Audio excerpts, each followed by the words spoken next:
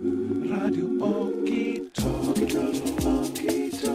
Radio Oki Talk, Oki Talk. Von Mensch zu Mensch.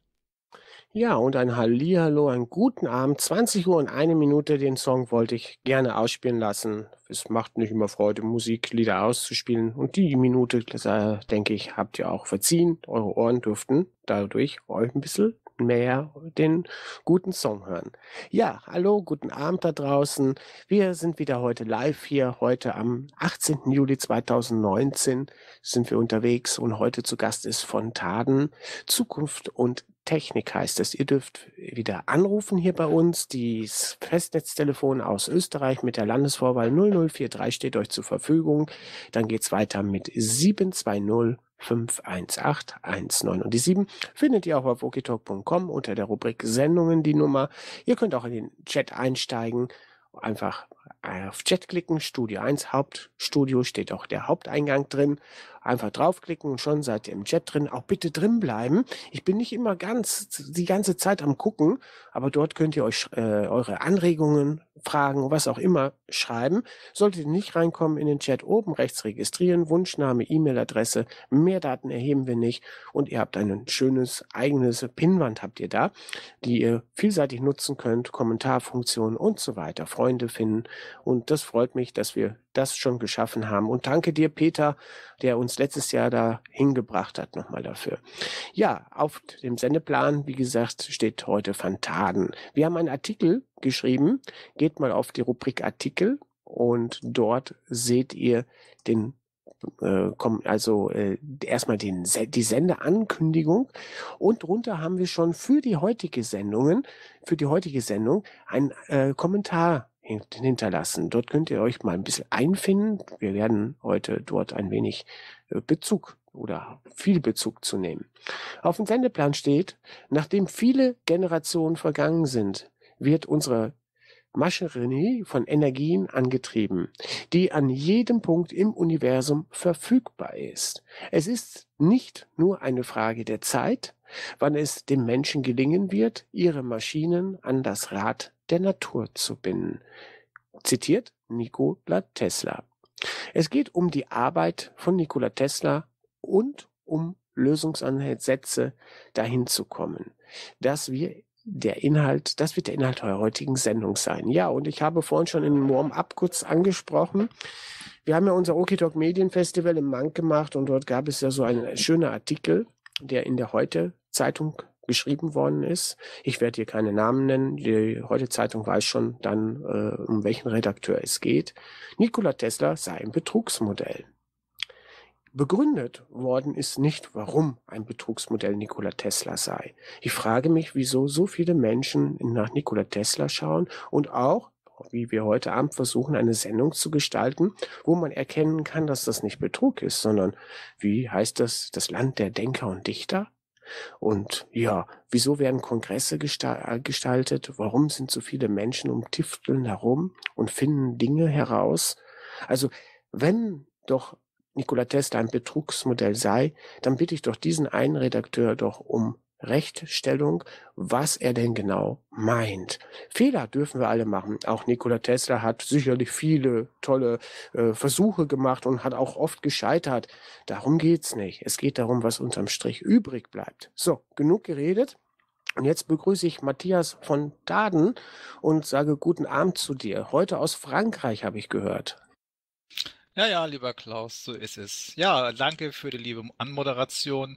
Ich hoffe, dass wir heute vielleicht ein bisschen was machen können. Also, wie gesagt, fertig habe ich es auch noch nicht, aber es geht immer Stück um Stück und es gibt offenbar Leute, die schon irgendwas in dieser Sache doch was Bewegendes erreicht haben und da habe ich so ein bisschen Material nachher auch schon für einen Server bereitgestellt. Das sind alles Quellen aus dem Internet. Möge sich derjenige sich da gerne informieren, wer möchte. So soll es sein. Hier im Studio haben wir auch noch den Marc Wahle heute bei uns. Marc, sag mir mal einen guten Abend zu dir. Guten Abend, einen wunderschönen guten Abend. Wer weiß, wer heute Abend wieder zuhört. Vielleicht Adam Weishaupt, man weiß ja nie. Ne? Vielleicht Nikola Tesla selber. Aus der geistigen Welt ist er bestimmt heute bei uns da. Hui, jetzt sind wir wieder so spirituell abgefahren. Ja, alles ist Energie, Ursache, Wirkung. Ja, heute heißt es Zukunft und Technik. Technik ist ja wie Physik, aber die Technik geht auch noch weiter, oder, Matthias? Ja, das stimmt. Technik ist natürlich da viel im Spiel, aber wir schauen wir mal, wohin kommen. Du kannst mich gleich mal so ein bisschen äh, sagen, ich habe dir da was rübergeschickt und dann können wir ja Stück für Stück da mal durchgehen. Ja, wo hast du mir jetzt was geschickt? Ich sehe, mein E-Mail-Fach quillt gerade wirklich über. Äh, dieses PDF-Dokumente, kurzer Abgleich. Ja, bitte das PDF-Dokument zur heutigen Sendung öffnen. Da steht dann oben so ein bisschen auch das Zitat drin, mit, was du von zitiert hast. Damit geht's los. Ah, dann gehe ich da jetzt nochmal drauf. Das kommt jetzt auch gleich sicher. Z Zitat, da, da, da. das muss ja das sein. Nachdem viele Generationen vergangen sind, ist es das? Bitte? Das klingt hervorragend. Da habe ich dann halt angefangen, mich da so ein bisschen durchzuarbeiten, aber schauen wir mal, wie wir jetzt da vorankommen. Ist es das Dokument, was ich gerade angelesen habe? Ja. Ja, wunderbar, dann bin ich ja schon mal richtig. Ja, nachdem viele Generationen vergangen sind, wird unsere Maschinerie von Energie, was ich gerade schon vorgelesen habe, angetrieben, die an jedem Punkt im Universum verfügbar ist. Es ist nur eine Frage der Zeit, wann es dem Menschen gelingen wird, ihre Maschine an das Rad der Natur zu binden. Nikola Tesla 1901. Lieber Matthias, was gibt es für Phänomene in der Technik? Die Gegeninduktion von Spulen und deren baulichen Ausführungen. Flachspulen, einfache Bifilar im Uhrzeiger gewickelt oder gegen den Uhrzeiger. Wo geht die Reise heute hin? Was möchtest du heute mit dieser Sendung erstmal überhaupt übermitteln, dass wir das versuchen, äh, bevor wir in die Tiefe gehen, vielleicht noch mal kurz am Anfang erklären? Ja, sehr gerne. Ich denke, meine Abgrenzung ist jetzt hier notwendig. Also mir geht es jetzt erstmal darum, eine Art Grundverständnis oder das, was ich über 20 Jahre langsam so ein bisschen herausgefunden habe, dass das doch ein bisschen andere Phänomene sind. Also ich habe ja auch ein bisschen Technikerschule und solche Sachen auch alles gehabt und gemacht. Und da werden natürlich Sachen gemacht, die eigentlich sehr konventionell sind. Also ich habe dann eben halt auch in Bereiche mich äh, reingearbeitet, auf Sachen aufgebaut, zum Beispiel jetzt die Flachspule, die hat eben halt Phänomene oder spezielle Effekte. Da habe ich in der Schule nie etwas drüber gehört oder etwas gesehen. Nur, dass man das Teil dann irgendwie da hat, dass Nikola Tesla solche Sachen gebaut hat. Es gibt den Tester Experimentierkasten, wo man auch solche kleinen Versuche machen kann. Also da gibt es sehr, sehr spannende Versuche zu dieser Flachspule. Okay, und das Ergebnis letztendlich, ähm, was wird heute Abend passieren? Ähm, du, wir stellen heute Abend was vor. Es geht um Spulen, es geht um Technik. Wird da was äh, unterm Strich als Ergebnis herauskommen? Was ist ein Ergebnis? Vielleicht für ein bisschen mit ein paar Worten verfasst. Kannst du das? Natürlich. Also mir geht's einfach darum, dass die Leute, es gibt sehr viele Sachen, die in der Technik vorkommen, die dann mal als Störung oder als nervig technisch empfunden werden, um das mal ein bisschen salopp zu sagen. Und es geht einfach darum, dass in diesen Effekten oder auch diesen äh, Ärgernissen, die teilweise in der Technik auftauchen, doch hier oder da eine kleine Tür drin ist, um eine andere Welt betreten zu können. Also mir geht es so ein bisschen darum, heute Abend so ein bisschen das herauszukitzeln, dass die Leute nächstes Mal, wenn dann da irgendwie da mal so eine Induktionsspannung auftritt, was kann man damit machen? Weil wenn ich zum Beispiel bei einer 12-Volt-Batterie dann eine, eine mittelprächtige Spule anschließe, kriege ich dort Spitzen raus, die gehen bis über 80 Volt. Da trigger ich ein Feld an und da kommt auf einmal irgendwas raus. Das ist schon sehr spannend. Okay, das heißt, wie wir eine gewisse Elektronikphysik oder so verstehen, gibt es doch noch ein bisschen mehr, was wir nicht wirklich ein beachten, ein Augenmerkmal geben. Kann das so richtig sein, wie ich das sage? Ja, ich könnte auch ein Beispiel sogar dafür anfügen äh, äh, oder anführen. Es gibt zum Beispiel damals vom De- Philadelphia Expert, der bei manchen Leuten ja auch äh, ein bisschen bekannt ist. Das war ja der Preston, glaube ich, hieß er. Die hatten ja damals zu der Zeit 1940, und wann das da gewesen ist, 43, ja alle ausstudiert, hatten promoviert und sind dann in dieses Projekt hereingekommen. Und die mussten selber sagen, aus eigener Quelle, sie mussten sehr viel neu dazulernen. Die waren gerade fertig, hatten gerade promoviert zu dieser Zeit. Und das, was die dort hatten an Informationen, da war eine neue Welt. Die hatten gerade wirklich den letzten Stand der Dinge äh, assimiliert oder aufgenommen und äh, mitbekommen. Und dann sind sie in diese Projekte reingekommen und dann ging auf einmal, ja, Alice im Wunderland los und sie waren wieder am Anfang. Ich denke mal, das ist vielleicht eine gute Anekdote, um das vielleicht mal so ein bisschen zu skizzieren. Ja, dann kann man ja noch mal kurz sagen, Nikola Tesla ist ja zumindest, äh, hat sich ja nicht offiziell in den großen Normen durchgesetzt. Vielleicht hast du noch eine Antwort, warum? Und man hat ja auch sein Büro, soweit ich weiß, damals äh, zerstört. Ähm, es hatte ja sicherlich auch einen Grund, dass wir das nochmal zusammenfassen und dann tauchen wir mal in die Technik ein, oder? Ja, gerne. Als ein Videobeitrag oder ein Film, da heißt der Stromkrieg. Es ging, ging damals mit Westinghouse und zwar das Gleichstrom, Wechselstrom. Das waren teilweise sehr skurrile Sachen, was da teilweise auf den Straßen veranstaltet worden ist. Da sind Hunde dann irgend auf welche Metallplatten raufgestellt und Elektroden angeschlossen und die wurden dann mit Wechselstrom getötet, um eben halt die Gefälligkeit des Wechselstroms wirklich vorzufinden. Auf offener Straße, alle Leute konnten das angucken. Also sind teilweise sehr skurrile Sachen abgegangen. Also das kann man sich heute eigentlich kaum vorstellen. Ja, gut. Jetzt haben wir mal so eine Einleitung gemacht, was auch Nikola Tesla bedingt bedient ist. Sicherlich war er nicht der, der, der, der, der, der Übermensch, sicherlich nicht, aber ein Mensch, der sicherlich sich mit ähm, einer gewissen Technik äh, versucht hat auseinanderzusetzen und hat alles andere als nichts gefunden, sondern er hat was gefunden, wo man dann doch schon geschaut hat, Mama mia, wir leben ja im Kapitalismus, es kann auch alles mit daran zusammenhängen, dass man solche neuen Techniken, die einen vielleicht auch weiterbringt. Ne? Wenn die Systemlinge, so sage ich immer, sagen, das ist alles Hokuspokus Filibus oder eine Gefahr, dann möchte ich auch gerne von den Systemlingen, die das so behaupten, auch mal Argumente haben, was denn dann so gefährlich daran auch sei. So sage ich das mal. Kann ich doch ruhig so sagen.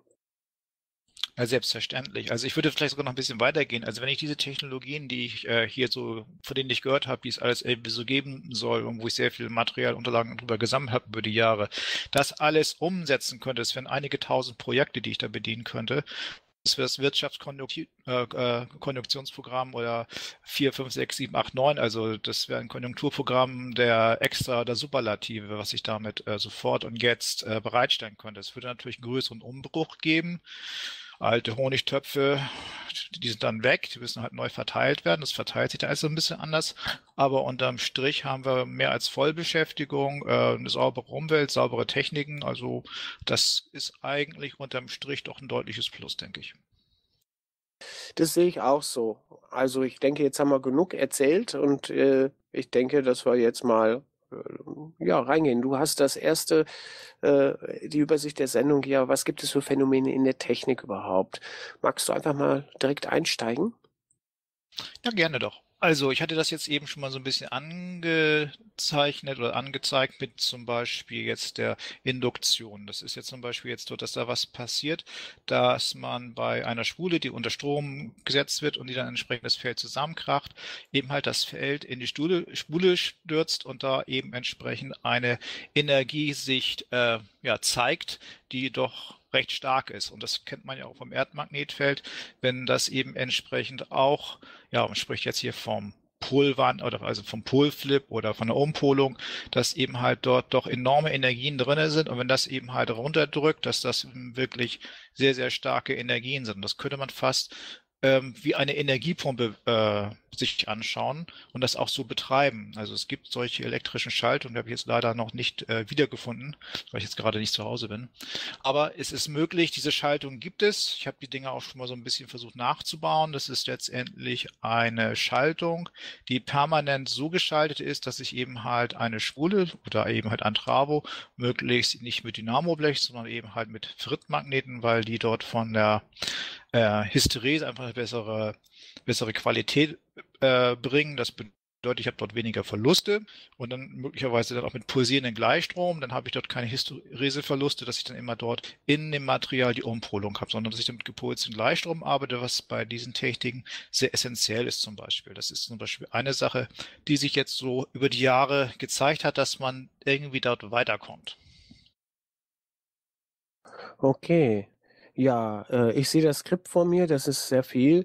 Ne? mm, Ich kann jetzt sagen, Zylinderspulen, ne? hier ist von, äh, von einer besonderen Interesse die große mit den vielen Lagen von Kupfer, äh. Bei der Test, wie heißt das? Testa, Testatica ist in Baumann. wichtig. Ja, warte, ich habe jetzt du.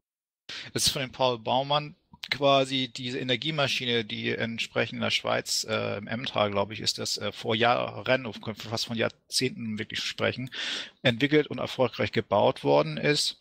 Und dieses Modell, das ist letztendlich, dort wird Elektrostatik eingesetzt. Und ähm, diese, wenn man sich das Bild vielleicht nachher anschaut, im Material, habe ich mit reingepackt, da sind zwei solche dicken, fetten Kisten an der Seite, das können Spulen oder sowas sein. Und da drinnen, ich habe Unterlagen auch jetzt gefunden, sind letztendlich Funkenstrecken in diesen Spulen drinne, in diesen großen Kupferspulen drinne. Und das ist dann super, eine super starke, st- starkes Geprassel oder eben halt ein Feuerwerk, könnte man fast sagen, von magnetischen Feldlinien, die in diesen Spulen dann letztendlich gefangen werden. Und jede Spule, die in einem mit einem anderen Feld in Kontakt kommt, also wie ein Transformator. Bloß, dass ich jetzt auf der einen Seite eben halt eine Funkenstrecke in der Mitte feuern lasse und auf der anderen Seite habe ich sehr viele Kupferwicklungen und das habe ich halt zweimal. Und unten da sind solche Hufeisenmagneten drinne, die auch so bewickelt sind. Wenn man sich das genau anschaut, hat man so den Eindruck, das sind irgendwelche Art ja, Magnetfeldgleichrichterdioden oder sowas in der Art, könnte man vielleicht dazu sagen. Das ist dann letztendlich wie Rückschlagklappen funktioniert. Und so hat dann meiner Meinung nach dieses System, oder es wird auch dort gesagt, hat eine Leistung von 300 Watt. Die haben dann auch Systeme gebaut, die bis 30 kW gegangen sind, aber es kommt Gleichstrom raus. Hm, Ich als Laie muss ja mal einfach die Frage stellen, die Spulen, man hat ja überall Spulen drin. Ähm, ich sag jetzt mal, alles, was Strom hat, hat eine kleine Spule drin, ne? ein Dynamo oder irgendwas. Und da gibt es halt dann verschiedene Spulen und die kommen dann in äh, Kontakt mit verschiedenen äh, äußeren Feldern, habe ich jetzt richtig gehört. Ja, es geht immer um magnetische Feldlinien. Das heißt, sobald eine magnetische Feldlinie eine Kupferspule streicht oder durch sie hindurch gleitet, diese Feldlinie, wird dort eine Spannung induziert. Das ist einfach so. Okay, gib einfach mal Gas und äh, du siehst, äh, ich bin nicht der Techniker, aber ich versuche zu verstehen und liebe Zuhörer, ihr dürft hier reinkommen und auch anrufen und auch schreiben. Wie gesagt, äh, ich sehe, da ist zum Beispiel auch, wo ist er jetzt hin? Der Robert ist da. Oh, Robert, den holen wir mal rauf. Und den oh, Je- Jenne, hol- der wird wohl heute nicht da sein, aber der Roman ist auch da. Schauen wir mal, ob der Robert auch da ist. Guten Abend, Robert. Bist du denn am Mikrofon? Hm. Ja, da ist er. Ja, da ist er. Hallo, ja, grüß euch. Ja, ich, ich höre hier zu, aber wir sind hier ein paar Leute in der Runde und äh, wir sind ja interessiert dabei. Ja, super. Ne? Also, äh, wenn ihr was sagen wollt, einfach flackern mit dem Mikrofon bitte und schauen wir mal, ob der Roman auch am Mikrofon ist. Ja, da ist er. Guten Abend, Roman. Ja, hallo alle miteinander. Ja, toll wieder mal über so äh, äh, über die freie Energie und generell die Zukunft, der Technik der Zukunft zu sprechen, was uns Menschen ja von Joch befreit. Äh, Tesla, Schauberger, äh, Wilhelm Reich, alles solche Größen. Wenn man mal denkt, wenn die das alles durchgebracht hätten, ihre Ideen, ich glaube, Star Trek wäre ja nichts dagegen. Und so bin ich auch gespannt, wieder viel Neues zu erfahren und, äh, und, und, und äh, bei diesem Thema lernt man ja wirklich nie aus. Und danke dafür schon mal. Ich bin schon sehr neugierig heute. Ja, wunderbar. Und ich sehe gerade, die Pia ist auch reingekommen. Einen guten Abend, Pia. Guten Abend zusammen. Ja, wunderschön. Auch für dich, Pia. Äh, einfach flackern mit dem Mikrofon, äh, weil ich bin nicht der tiefe Techniker. Ich merke schon, äh, ich komme selbst ins Stolpern. Ich bin mehr so ein Laie. Und Matthias, versuch doch einfach mal heute so das rüberzubringen, was du gerne rüberbringen möchtest. Und Fragen sind mit Sicherheit hier garantiert. Ja, da freue ich mich drauf. Ja, vielen Dank. Ja, fragt sonst einfach rein. Also ich versuche es möglichst so einfach wie möglich ähm, auszudrücken, ohne dass man da wirklich irgendwie viel studiert haben muss. Also mir ist es immer wichtig, dass ich möglichst es einfach rüberbringe. Das ist mir immer ganz wichtig. Ja, auf jeden Bitte. Machen wir mal weiter. Also es gibt dann eben halt diese äh, Ringspulen oder auch eine Torusspule. Das heißt, es sieht aus wie ein Donut. Ähm, das ist letztlich ein Torusfeld. Wir haben ja auch hier jemanden, der hat hier auch Crypto TV. Es gibt auch irgendwie Torus TV. Das ist letztendlich so ein Feld, so ein Donutfeld, so kann man sich das vorstellen. Und mit diesem Donutfeld wurden auch schon entsprechende Konverter, ich nenne das mal Raumenergiekonverter. Letztendlich ist es äh, freie Energie immer so etwas unangenehmer Ausdruck, weil es letztendlich immer ein bisschen Verwirrung gibt. Aber letztendlich geht es darum, ähm, die Raumenergie, die im Raum gespeichert ist. Also Tesla hat damals mal davon gesprochen, wir würden in einem elektrischen Universum leben. Das bedeutet also, wir leben in einem Energie mehr aus Elektrizität und produzieren und übertragen Strom auf eine derartige Art und Weise. Das muss für andere Leute, die das Problem irgendwie richtig im Griff haben, sehr skurril wirken. Also von daher ein bisschen, bisschen Spaß am Rande. Ja, ich mache einfach mal weiter. Und die haben eben halt verschiedene Wicklungsarten, diese Spulen. Das heißt, die haben dort eine Bifilar-Wicklung. Das ist zum Beispiel eine Wicklung, wo zwei Drähte parallel gleichzeitig geführt werden, um einen Ferritstab zum Beispiel oder auch um eine, ein, auch einen Torusring. Das ist letztendlich dann ein Ferritring. Und da kann man auch entsprechende Wicklungen anbringen. Es gibt auch äh, Ringkerntransformatoren, da wurde das dann auch gemacht. Aber man kann eben halt durch durch die Geometrie, die man in so eine Spule reinlegt, doch ähm, andere Effekte aus so einer Spule herausholen, als man es vielleicht erstmal vermuten würde. Der ähm, Autor, ich hieß ja gleich hier, der hat ja Ulrich Sackstedt, der hat in seinem Buch auch mal so eine Smith-Spule äh, dort zitiert, glaube auf Seite 160 stand das. Das ist auch eine Spule, die auch eben halt so knotenartig gewickelt ist und die hat dann so eine Art äh, Feld kommt daraus, das hat eine ganz andere Charakteristika als zum Beispiel ganz normales Magnetfeld, was zum Beispiel, wenn man Elektromagneten sich anschaut, eine ganz andere Qualität entwickelt. Da haben die dann im Labor zum Beispiel radioaktive Proben, nennen wir das mal so, entsprechend mit dieser mit diesem Feld, was aus dieser speziell gewickelten Spule herauskommt, also von einer Zylinderspule entsprechend so ringsrum, wie man das kennt, eben halt auf diese Knotenspule entsprechend umgewickelt, denselben Draht. Und siehe da, man hat dort die Radioaktivität an so einer Probe deutlich, also in Skalenbereich, also richtige Skalensprünge hat es gegeben, reduzieren können. Also es hat einfach nur damit zu tun, dass man ähm, eine Spule einfach anders wickelt, als man es sonst kennt und man bekommt ganz andere Charakteristika oder auch einen ganz anderen Funktionsbereich zum Beispiel. Das ist schon sehr erstaunlich.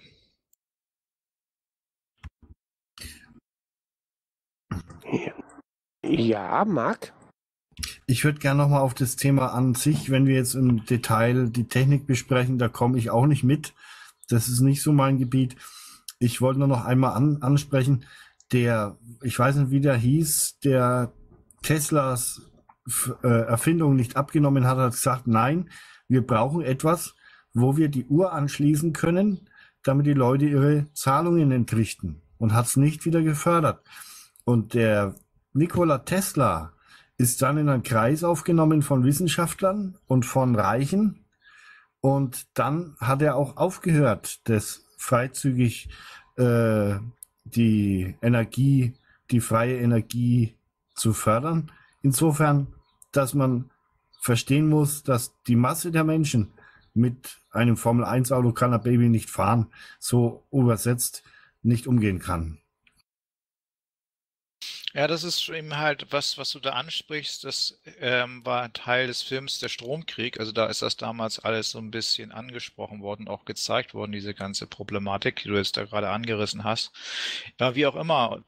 Dies wollte damals eben halt, ähm, Westinghouse war es damals, glaube ich, in dem Beitrag. Der hat eben halt gesagt, eben halt, wenn ich da keinen Zähler anschließen kann und kein Geld abzapfen kann, dann unterstütze ich das nicht mehr. Also das war so die Kurzversion, das stimmt schon. Wir haben natürlich, ja, äh, wollte ich nur anmerken, und aber Nikola Tesla habe ich dann irgendwann wahrgenommen und er, er nimmt es auch dann so wahr äh, an äh, für den äh, reichen und äh, hochgeistigen Club, dass die Massen dafür noch nicht reif sind. Ne? Wir haben jetzt halt die Schwierigkeit, wir müssen auf jeden Cent schauen, weil das, das mit dem Geld, ne? wir leben im Kapitalismus. Ne? Naja, letztendlich, ähm, wenn man sich das mal einfach mal buchhalterisch oder finanztechnisch sich anschaut und du guckst einfach mal, ähm, wo überall Energiekosten drauf liegen und auch Energiekosten versteckt sind, wenn du die einfach mal so rausziehen würdest, jetzt so buchhalterisch, um das einfach dann sichtbar zu machen, wo da welche Kosten liegen, dann könnte man sich vielleicht vorstellen, dass das doch einen gewissen Betrag ist und dass eben halt die Leute diesen Honigtopf gerne behalten wollen, komischerweise. Ne? Aber das ist dann eben halt das Spiel einer relativ kleinen Gruppe gegenüber einer größeren Gruppe. Und das ist natürlich eine, ja, wie war das damals, diese goldene Regel? Gewinne werden privatisiert, Verluste werden sozialisiert. Ich glaube, so war das bei Animal Farm, bei George Orwell. Ja, der Liberalismus, genau. Das ist das Recht des Stärkeren in Verbindung mit der Freiheit des Unternehmertums und die private, äh, die Sozialisten oder die so, so, äh, Sozialdemokraten oder alles, was sozial ist, wurde ja da der Genosse oder auch der Sozius, was Gefährte heißt, das wurde alles nicht mehr gewählt. Ne? Ja, das sind eben halt geistige Spielchen, die man dann eben halt dort anschaut und wenn man letztendlich, denke ich mal, die irgendwo ein Stück weit hinter sich gelassen hat und dann sagt, okay, liebe Leute, das war eine interessante Erfahrung, das war eine gute Zeit. Ähm, schauen wir mal, jetzt gehen wir einfach mal weiter. Es kann ja alles ganz anders sein und auch ganz anders werden. Und warum sollte man nicht wie jetzt eine Art Garten Eden und zum kleinen Paradies umbauen? Das wird ja bei Star Trek ja entsprechend ja auch so ein bisschen gezeigt. Also diese Idee finde ich eigentlich immer sehr faszinierend. Ja, wunderbar. Dann gehen wir mal in die Technik weiter rein. Ähm, ich weiß nicht, ob ich jetzt mit der Frage 3 einfach mal so reingehen kann. Äh, die Zylinderspulen, haben wir die schon abgeschlossen, so sage ich jetzt mal? Ja, im Wesentlichen denke ich schon, es geht letztendlich erstmal darauf hinzuweisen, also ganz einfach, wir laufen jetzt erstmal auf dem ersten Ring die kleine Spur, jetzt gucken wir uns das alles einmal an, was gibt es da so zu schauen und dann gehen wir in die nächste Ebene. Das heißt, wir gehen quasi jetzt erstmal auf dem ersten Stockwerk einmal die Runde im Haus rum und dann gehen wir ins nächste Stockwerk, irgendwann in anderen Sendungen. Super. Ja, dann fange ich mal an mit der äh, Nummer drei. Ja, es gibt Mischformen von Spulen, die hast du schon angesprochen. Du sprichst auch den QIG an, äh, so wie ich sehe. Ringspulen und Torspulen, was du gerade schon sagtest, da brauche ich glaube ich nicht drauf eingehen. Der QIG vielleicht nochmal äh, elektrische Systeme nach äh, Paul Baumann hast du hier erwähnt, Edwin Garrett, selbstlaufende Elektromotor, Plasmasystem, John Bedini, Magnetmotoren und andere Mischformen. Und dann kommt schon Sweet Triod mit dem Atomphysiker Thomas Barden. Kannst du da was mit anfangen? Ich schon, da heißt Thomas Bearden, der Gute. Und ist äh, Militär, muss man auch mal dazu sagen. Also er ist Oberst im amerikanischen Militär und Atomphysiker. Und da muss man vielleicht mal eine Sache so ein bisschen ansprechen.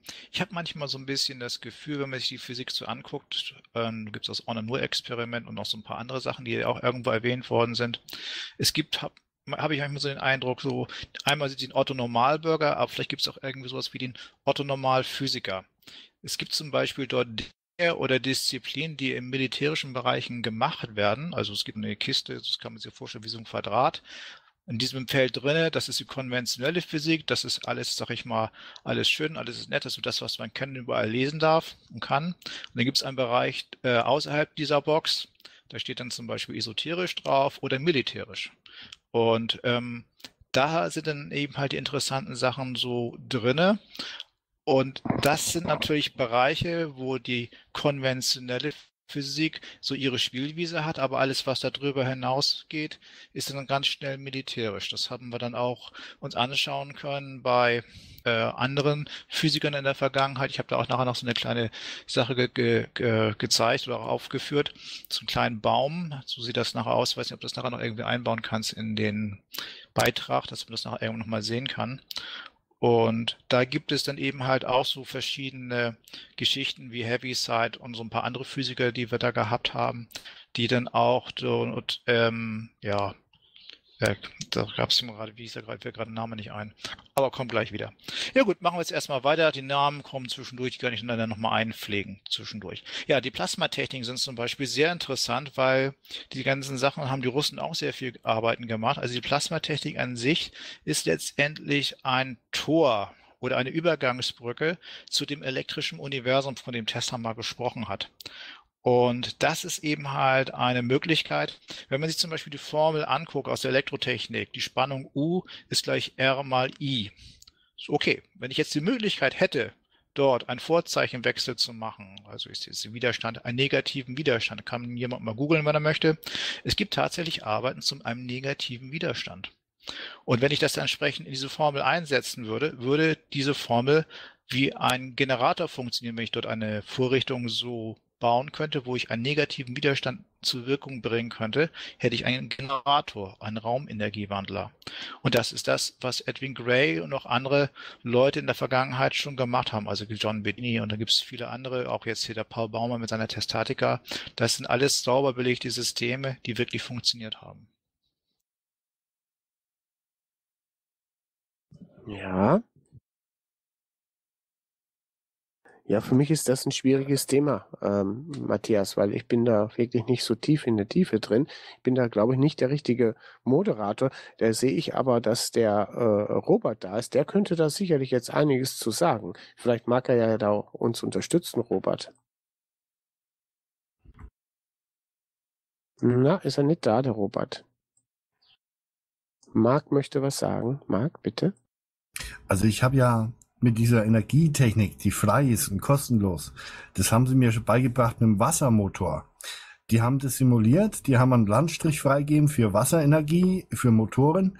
Im Anschluss sind dann die Croissants mit ihren Wasserautos und Politikerhäuser Karussell gefahren, um Politik zu machen. An weitere Erfahrung war das UFO. Da ist ein Bruder in äh, Orion geflogen. Der hat es geschafft, über Nicht-Eigentum, aber über die Seele einer netten Dame, die wollten in den Sternen haben. Und es geht ganz heimlich. Ne? Also es geht nicht mit der Öffentlichkeit. Ja, also vieles läuft eben halt im Verdeckten. Das stimmt schon, ja. Das sehe ich auch so. Ja, das Verdeckte, und du hast ja auch gesagt, das ist nur dem Militär überlassen. Und äh, ja, das Militär hat sicherlich ganz andere Techniken, die wir uns vorstellen können. Und zum Beispiel auch eine Sache, die ich weiß, also das US-Militär hat zum Beispiel eine Vorrichtung auf den Schiffen, wo sie das Seewasser wirklich dort so ummuddeln können, dass sie damit ihren Schiffsmotor zum Beispiel betreiben können. Also gerade eben halt das Stichwort Wassermotor hier einmal so durchgestriffen äh, gestriffen haben.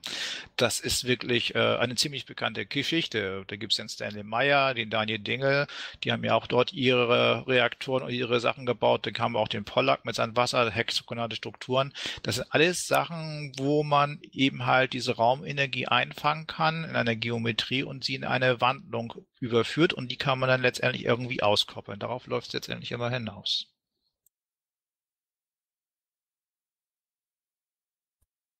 Doch einfach mal weiter. Gut, wir haben jetzt hier noch weiter die verschiedenen Wicklungsarten, hatte ich nicht äh, besprochen. Also Bifilar, einfach, dreifach, das heißt diese Zickzack-Wicklung, das heißt auch Transformatoren werden der Hochspannungstechnik auch entsprechend über verschiedene Wicklungsgeometrien gebaut. Das ist eigentlich bekannt. Den negativen Widerstand habe ich jetzt eben schon einmal kurz erklärt dass das mit dem Plasma zusammenhängt. Und da hat es auch einen Versuch gegeben. Da gab es auch mal bei YouTube ein Video, das war auch von einem Schweizer, der hat das entsprechend so gezeigt, dass sie dort entsprechend durch Stromfluss in einen, also einen Lichtbogen so modellieren oder verändern konnten, dass dieser Lichtbogen von einem lauten Knistern, Knattern durch eine Stromreduktion, letztendlich war die Spannung gleich geblieben nur der Strom wurde verändert, wurde es zu einer glühenden Plasmaentladung. Es wurde tierisch leise. Das war schon mal sehr interessant. Aber was da viel interessanter war, die hatten vorher so einen Glaskolben gehabt, das ist so ein Spannungsdetektor, da kann man den an eine Hochspannungsquelle ranhält, fängt an zu leuchten, also ähnlich wie so eine Leuchtstoffröhre. So, und das war dann so gewesen, sie dort die äh, den Strom eben halt reduziert haben und verschoben haben, in diesen anderen Modus übergeführt haben, das heißt von diesem lauten Knattern eben halt in das glühende Leuchten, war die Hochspannung an der gesamten Oberfläche, also von dem Apparat, von dem Testertrauben und alles, was da drauf zu sehen ist in dem Video, auf einmal weg gewesen. Was sehr interessant ist, weil letztendlich hat sich jetzt ähm, die Flussrichtung, wenn man das sich so anschauen könnte, also manche Leute kennen ja das Prinzip nach Schauberger Implosion statt Explosion. Dann hätten wir jetzt in diesem Gleichnis in dem Normalfall, wo es dann knattert und knallt, entsprechend dort ähm, das explosive Element. Und wenn ich das eben halt um Muddel, dass ich dort diesen Glüheffekt habe, dann habe ich die Flussrichtung nach innen. Und das wäre letztendlich der negative Widerstand. Was ich eben halt dort gemacht habe, ich habe das Vorzeichen, wenn man das so sagen darf, vorne gewechselt. Der gleichen würde man sagen, von Plus nach Minus geweckt. Der Wert 1 stand immer davor, mal minus 1 oder eben halt plus 1, mal plus 1. Das ist so das, was jetzt passiert ist bei diesem Ganzen. Und so kann man dann auch einen negativen Widerstand technisch beschreiben und auch in die Umsetzung bringen. Da kommen wir dann vielleicht auch nochmal später zu. Ich habe dann da entsprechende Bilder seinerzeit, das kann man sich dann nachher auch anschauen, entsprechend mit ja, abgebildet. So, ich gehe jetzt mal ein bisschen weiter. Paul Baumann hatte ich jetzt schon erklärt, das war letztlich der Erfinder der Testatica, der in der Schweiz lebte und hat dann dort dieses System entwickelt. Und diese Systeme gab es von 300 Watt bis 30 kW. Das waren kleine Scheiben von 30 Zentimeter bis 3 Meter Durchmesser. Und die haben wirklich eine enorme, enorme Energie geliefert und letztendlich 24 Stunden am Tag, sieben Tage in der Woche, keine Nebeneffekte, alles sauber. Und ich habe auch dort entsprechend ein Bild reingepackt. Maternita Testatica Free Energy Maschine steht da drin. For more information, contact leo at Celator in Berlin.de. Das war damals noch eine alte E-Mail-Adresse. Metallica is located in CH 3570 Linden, Switzerland. Also da kommt diese Technik her und die gibt's da heute immer noch. Ja, dann mache ich einfach mal weiter mit dem Edwin Gray. Der hat auch einen selbstlaufenden Elektromotor auf ein Plasmasystem. Der John Bedini hat auch mit Magnetmotoren oder auch mit Mischformen entsprechend gearbeitet. Und der Floyd Sweet mit der Vakuumtriode. Das war schon bereits in den 80ern gewesen. Da hat der das war auch ein Techniker, der mit dem Physiker Thomas Bearden zusammengearbeitet hatte und dann eben entsprechend dort einen, nennt man das, könnte man das sagen, ist ein magnetischer Oszillator oder Resonator. Also es gibt auch entsprechende Unterlagen, die man finden kann im Netz. Ich weiß nicht, ob sie noch da sind, aber wie gesagt, vieles äh, ist gesichert und entsprechend auch verteilt bei verschiedenen Leuten. Also das kann man dann jederzeit zur Verfügung stellen, wenn man das haben möchte.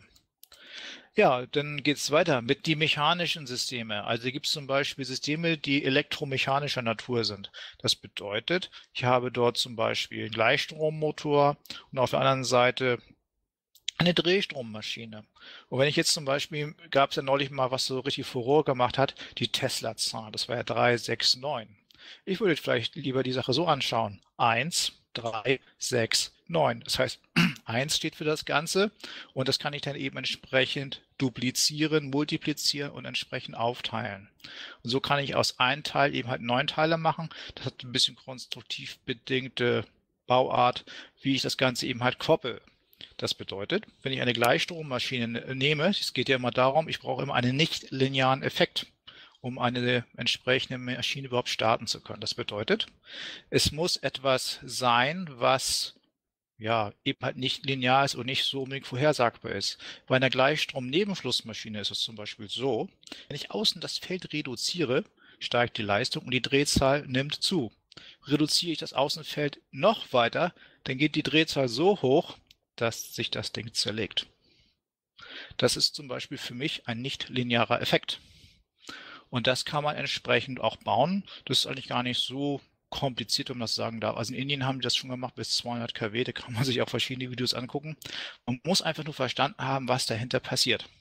Das sind eben halt diese Zahlen nach Tesla, wie gesagt 369. Ich würde sie vielleicht komplett 1369 entsprechen. Also das eine nehme ich, das Ganze, und teile das entsprechend oder ich multipliziere es dann eben entsprechend hoch. Es ist dann so ein bisschen, ja, wie Schalten hin und her switchen, könnte man sagen.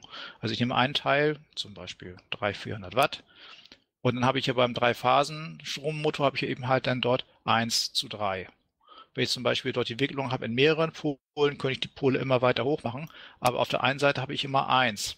Und ich habe dort immer eins mit 100 Prozent. Aber zeitlich auf der anderen Seite nehme ich die 100 Prozent zu drei unterschiedlichen Winkeln ab. Also kann ich dort entsprechend ein bisschen was ernten. So könnte man das vielleicht verstehen. Ja, und diese Systeme wurden gebaut, haben auch funktioniert und die Leute wurden auch entsprechend äh, bedrängt, leider. Und Ja, aber vielleicht ist es vielleicht jetzt einfach, wenn man einfach mal die Basics jetzt einfach mal sagt, wie es geht, dass das dann einfach mal aufhört irgendwann. Das wäre ganz schön. Ja, dann geht's weiter. Der Magnetmotor ist sehr wichtig. Ähm, das ist eben halt wichtig bei den Teilen, wenn man mit Magnetmotoren hantieren möchte, dass man dort einen Elektromagneten so platziert, dass man diesen ganzen Prozess unterbrechen kann. Weil sonst geht es einem so wie in einer Gleichstrommaschine. Die Drehzahlen immer weiter zu und irgendwann fliegt einem das Ding mit Getöse um die Ohren, weil es einfach an, an seine physikalische maximale Belastungsgrenze kommt und drüber hinaus dreht. Und dann macht's Bumm. Das ist nicht so schön. Ja, hier hatte ich dann angeführt zum Beispiel ein Bild, das ist eine magnetische Railgun. Da haben wir dann entsprechend zehn Magneten drauf, entsprechend.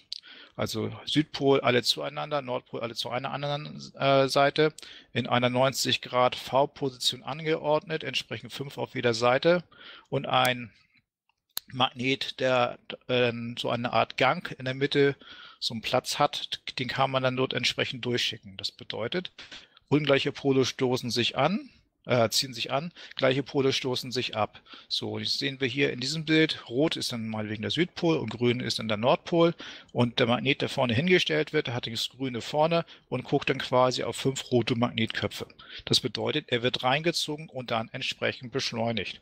So, wenn ich jetzt an diesen Magneten oben ein Band oder irgendwie einen mechanischen Arm ranmache und den auf einem Kreis laufen lassen würde, hätte ich einen fertigen Magnetmotor. Also es ist eigentlich nicht so kompliziert.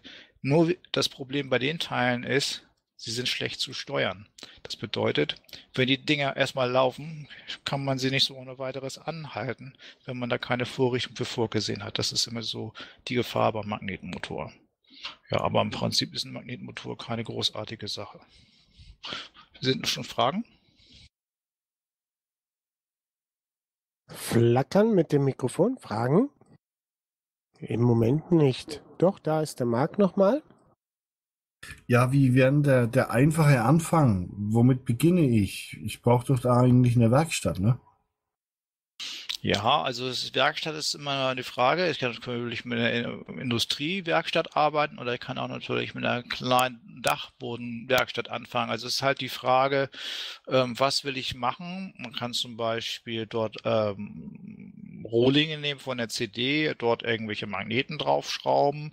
Das kann man relativ klein halten zum Beispiel. Also das kann man auf diesem Niveau betreiben. Oder wenn man eben halt eine Schlosserei hat oder eben halt solche größeren Holzkonstruktionen zum Beispiel bauen könnte, wo man dann solche Rundläufer und solche Sachen dann richtig so aus Holz solche äh, Betten fräsen kann, wo die Magneten dann richtig reingeklemmt sind, dass es alles schön fest ist, dass ich sie alle richtig sichern kann, dass ich dann dort noch äh, entsprechenden Platz lasse, wo ich dann Elektromagneten zwischenschalte. Das heißt, dass er dann, wenn er dann über diesen Todpunkt reinkommt, wenn der Strom aus ist, dass er dann irgendwann stehen bleibt. Also solche Sachen sind dann wichtig. Ne? Für den Schwungmotor? Was für ein Schwungmotor meinst du jetzt? Nach ähm, welchem? Hast du da irgendwie ein Bild oder einen Namen? Ich habe was gehört von einem Schwungmagnetmotor. Der hört nicht auf zu laufen auch. Ja, ja, das ist eben halt die Gefahr. Das heißt, wenn dieser Magnetmotor erstmal läuft und er hat irgendwie ein Problem, dann muss ich, wo ich ihn anhalten müsste, das ist nicht so gut. Das stimmt. Weil die Beschleunigung nimmt bei den Dingern immer zu, nicht ab. Aber das kann man teilweise dann auch so machen. Also das Minimum, was man denen dann verpassen müsste, ist eine Art Luftschraube, damit die anfangen, sich dann abzubremsen. Ansonsten drehen sie bis ins Endliche. Ja, führ ruhig weiter fort. Okay, gut, dann hatte ich eben jetzt zwar jetzt ein bisschen der rote Wärter, der das Ganze jetzt eben halt so entsprechend darstellt. Das ist eben halt, wo man in normalen Maschinen, also man kann einen normalen Elektromotor nehmen und einen normalen Gleichstrommotor, den man ganz normal kaufen kann, die entsprechend miteinander verschaltet und die entsprechend, also dass man wirklich Material nimmt, da braucht man kein, weniger Werkstatt, sondern dass man dann einfach schaut, okay, ich kriege hier Standard-Industriematerialien, die ich entsprechend modifizieren kann kann, die kriegen eine andere Ansteuerung oder eine andere Beschaltung oder wenn anders eben halt verkoppelt oder eben halt gekoppelt auch die, die Maschinen. Und so kann ich dann dort eben halt Möglichkeiten nutzen, wo ich dann einen überschaubaren Werkstattaufwand hätte. Also das wäre zum Beispiel auch eine sehr interessante Sache für Leute, die da einfach sagen, okay, ich habe keine so große Werkstatt, habe dies nicht, ich habe das, ich habe jenes nicht. Okay, mein Lieber, ist kein großes Problem. Minimal bräuchtest du ungefähr das und das kriegst du zur Not auf dem Balkon hin.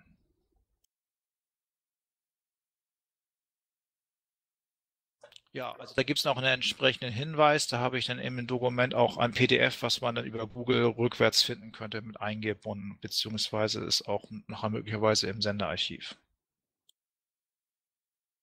Ja, Senderarchiv, da kommen die ganzen PDF-Dokumente hochgeladen. Das machen wir nach der Sendung fertig. Und natürlich Artikel werden wir auch dementsprechend äh, die nötigen Infos raussetzen. Und jetzt ist gerade der Jenne reingekommen. Jenne, hast du eine Frage oder Anregung?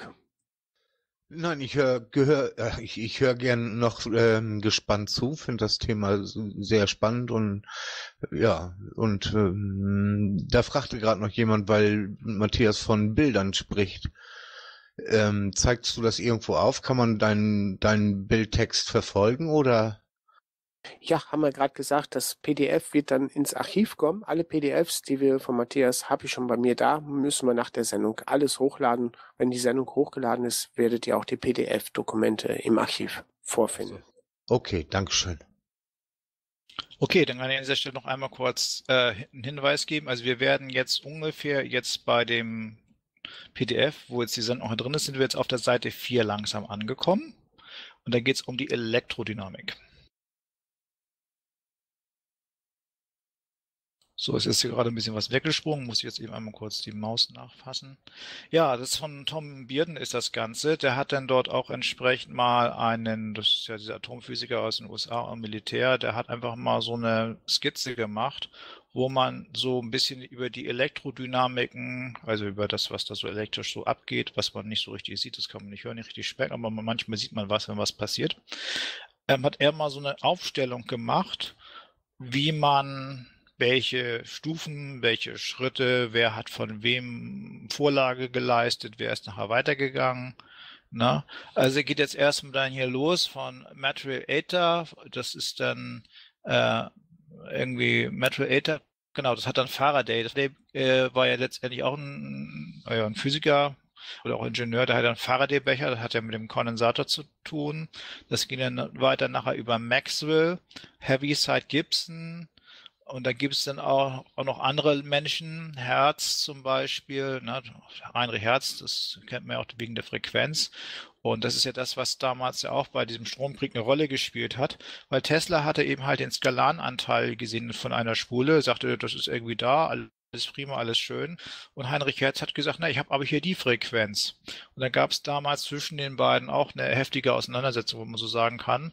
Und man hat dann nachher sich auf das herzliche System geeinigt oder sich eingelassen und den Skalaranteil einer Spule oder eines Magnetfeldes hat man dann erstmal negiert. Man hat dann einfach dann nur entsprechend jetzt immer sich diese Sache von Herz entsprechend angeschaut und deswegen ging dort Tesla so ein bisschen unter an dieser Stelle. Das ist auch der Grund, warum man heute nicht mehr so viel von ihm so gelehrt bekommt. Also in Physikbüchern steht mehr über Herz als über Tesla in der Regel. Ja, da gibt es dann dort auch entsprechend von Bierden nachher was. Der hat dann Pointing Energy Flow zum Beispiel, but only the small component sets its, ähm, äh, was steht da? It's äh, divert into the current of Power, also das ist in den Kreis, der das, da die Energie reinkommt. Das ist dieses Pointing Energiemodell, was der Bierden vertritt. Und da wird eben halt auch eben ein bisschen erklärt, wie das da mit der entsprechenden Raumenergiewandlung, Stichwort freie Energie, so ein bisschen läuft. Dann gibt es da den Lawrence, das ist auch ein, ne, ITT Schaub Lawrence und solche Sachen, also da kommt es also ein bisschen her. Äh, Trunks Cats, den kenne ich jetzt nicht. Da gibt es eben halt auch noch entsprechende Leute, Heavy Sides zum Beispiel, Ne, der hat dann auch entsprechende Atmosphärengeschichten gemacht, also hat Harp zu bisschen zu tun, also der Heavy Side, die Arbeiten von Heavy Side sind äh, Vorarbeit gewesen für diese ganzen Geschichten zum Beispiel. Und da gibt es auch eine ganze Menge anderer Leute, die dann äh, Michael, äh, also Mendelssohn Morley zum Beispiel, Destroy, also die haben da eben halt das Material Ätherfeld zerstört. Aber es gibt dann das auch noch nur oder andere Experiment, das wurde von der US Navy, glaube ich, damals durchgeführt. Das war auch irgendwie 1912 oder 1920 rum. Und das ist eben halt positiv verlaufen. Das war nicht negativ. Also die haben letztendlich diese Sache gefunden mit dem Ether und Militär nutzt sie lustig weiter. Aber die, ähm, ja, Otto Normalphysiker haben eben halt dieses Know-how nicht mehr bekommen. Die mussten dann eben halt mit diesem anderen Bild leben. Das ist leider dann halt so dumm gelaufen. Ja, dann geht's dann eben halt in dieser Karte weiter hoch und dann gibt's dann nachher der Mind Engineering, Reconstruction und da gibt's nachher noch andere Geschichten. Das sind dann einfache Dinge, wo man dann entsprechend dann, ja, was man auch schon, schon bei Enterprise gesehen hat, wo dann nachher eben halt geistige Kräfte, elektrische Felder und solche anderen Sachen irgendwie können. Da gab's ja auch eine ganze Menge entsprechende Abteilung damals bei den Russen, auch bei den Amerikanern, die dann nachher mit Zielspionage und in die anderen Geschichten da gearbeitet haben.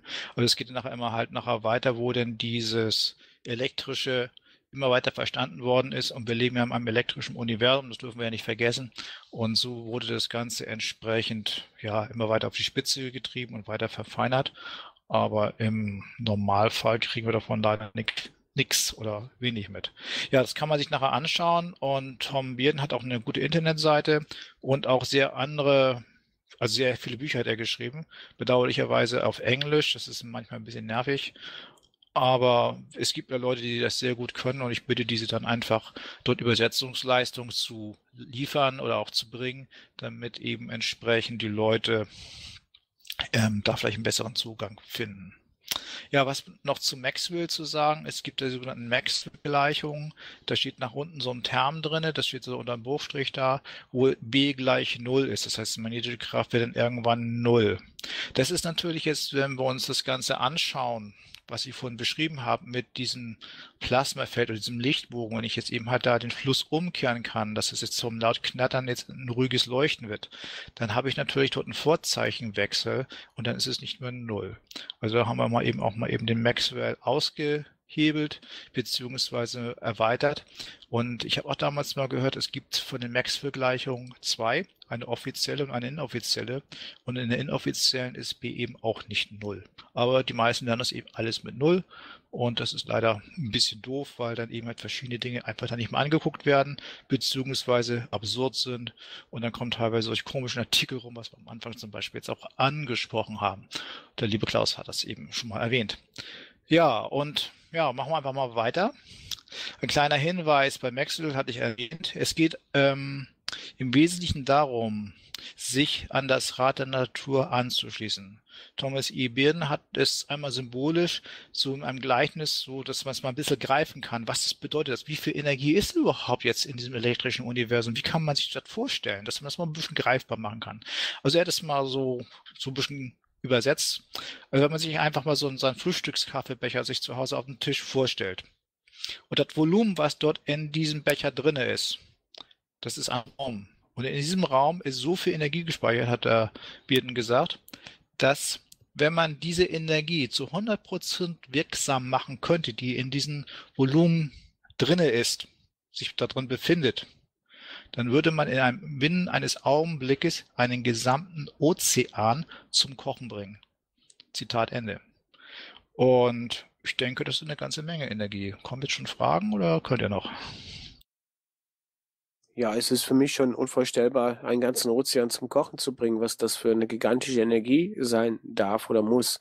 Alleine wenn wir heute schauen, wie wir den Energieverbrauch oder den Energiebedarf haben, äh, und dann ich den Vergleich, äh, 70 Prozent auf der Erde ist Wasser und man kann das zum Kochen bringen, dann muss da was Geheimnisvolles zumindest für mich dahinter stehen. Und das ist sehr spannend.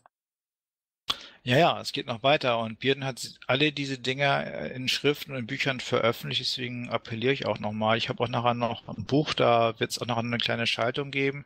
The Final Secret of Electricity heißt das zum Beispiel. Das ist ein sehr interessantes kleines Heft, ein kleines DIN A5 Heft, hat so knapp 100 Seiten und da sind entsprechende, ja, Designvorschläge für solche Konverter entsprechend abgebildet. Abgebildet und dann warst du weg. Ich hoffe, du bist Also noch da. Abgebildet, ja, abgebildet sind da diese Schaltungen. Mein Mausfinger klemmte gerade. Entschuldigung. Nee, es ist einfach er hat dann dort entsprechende Designvorschläge in diesem Buch. Das ist The Final Secret of Electricity. Das ist so ein DIN A5-Heft, knapp 100 Seiten und da ist das alles dran beschrieben. Das kann dann sich jeder kaufen, wer mag. Und auch teilweise im Internet kann man das auch elektronisch als PDF finden. Also da kann man das machen, wie, wie es einem denn beliebt. Und er hat es dann einfach nochmal weiter beschrieben, um das mal etwas so flapsig auszudrücken. Das heißt, der lumpigste Prozess, der nur einen, einen Bruchteil dieser Energie für uns verfügbar machen würde, würde unser Energieproblem für immer lösen. Da stimme ich Ihnen uneingeschränkt zu. Nun, das klingt alles sehr optimistisch. Was ist beim Bauen von äh, Raumenergiewandlern zu beachten? Jetzt kommen wir zu dem Punkt. Es ist ein Ausschalter. Es muss einen Ausschalter geben. Das hat man auch schon bei den mechanischen Systemen gesagt, aber bei elektrischen Systemen ist es genauso wichtig. Das heißt, dass man dort, wenn man dort neues Land betritt, dass man immer die Möglichkeit hat, wirklich zu jeder Zeit das System beziehungsweise den Versuch, ähm, ja, dass man halt die Kontrolle behält. Das ist sehr, sehr wichtig. Ja, aber ganz besonders beim mechanischen System, aber auch elektrische Systeme können auch sehr, sehr kräftig sein, weil man kann sie eigentlich nicht greifen und die Folgen sind manchmal nicht mittelbar, sondern zeitlich versetzt wahrnehmbar. So, deswegen ist es immer wichtig, sie fliegen einem möglicherweise sonst um die Ohren. Deswegen ist immer diese Abschaltverrichtung das Oberste, was darauf gehe ich jetzt auch eben halt so intensiv ein, weil es mir eben halt ein sehr wichtiges Bedürfnis ist, das eben klar zu machen. Es äh, muss ein nicht-lineares Element enthalten sein. Das heißt, ein Raumenergiewandler, der kein äh, lineares Element beinhaltet, wie zum Beispiel eine Funkenstrecke, Wasser mit hexagonalen Strukturen, ist eine Möglichkeit. Pollackwasser zum Beispiel, Elektronenüberschuss, mal kurz, ne, was da angedeutet ist, oder mit Magneten zum Beispiel. Das sind alles Bauteile oder Dinge, oder auch diese Induktion zum Beispiel, nicht linearer Prozess in einer gewissen Weise, weil dort eine enorme, ein, ein enormer Spannungsüberschuss entsteht, den man eben nicht haben will. Aber wenn ich eben halt diesen enormen Spannungsüberschuss irgendwie, sagen wir mal, abgreifen könnte, dass man da keine Sperrdiode reinbaut, sondern vielleicht an sehr schnell einen Brückengleichrichter und die Energie dann quasi in einen weiteren Zwischenkreis zwischenspeichert und weiterlädt, wäre vielleicht mal eine Idee.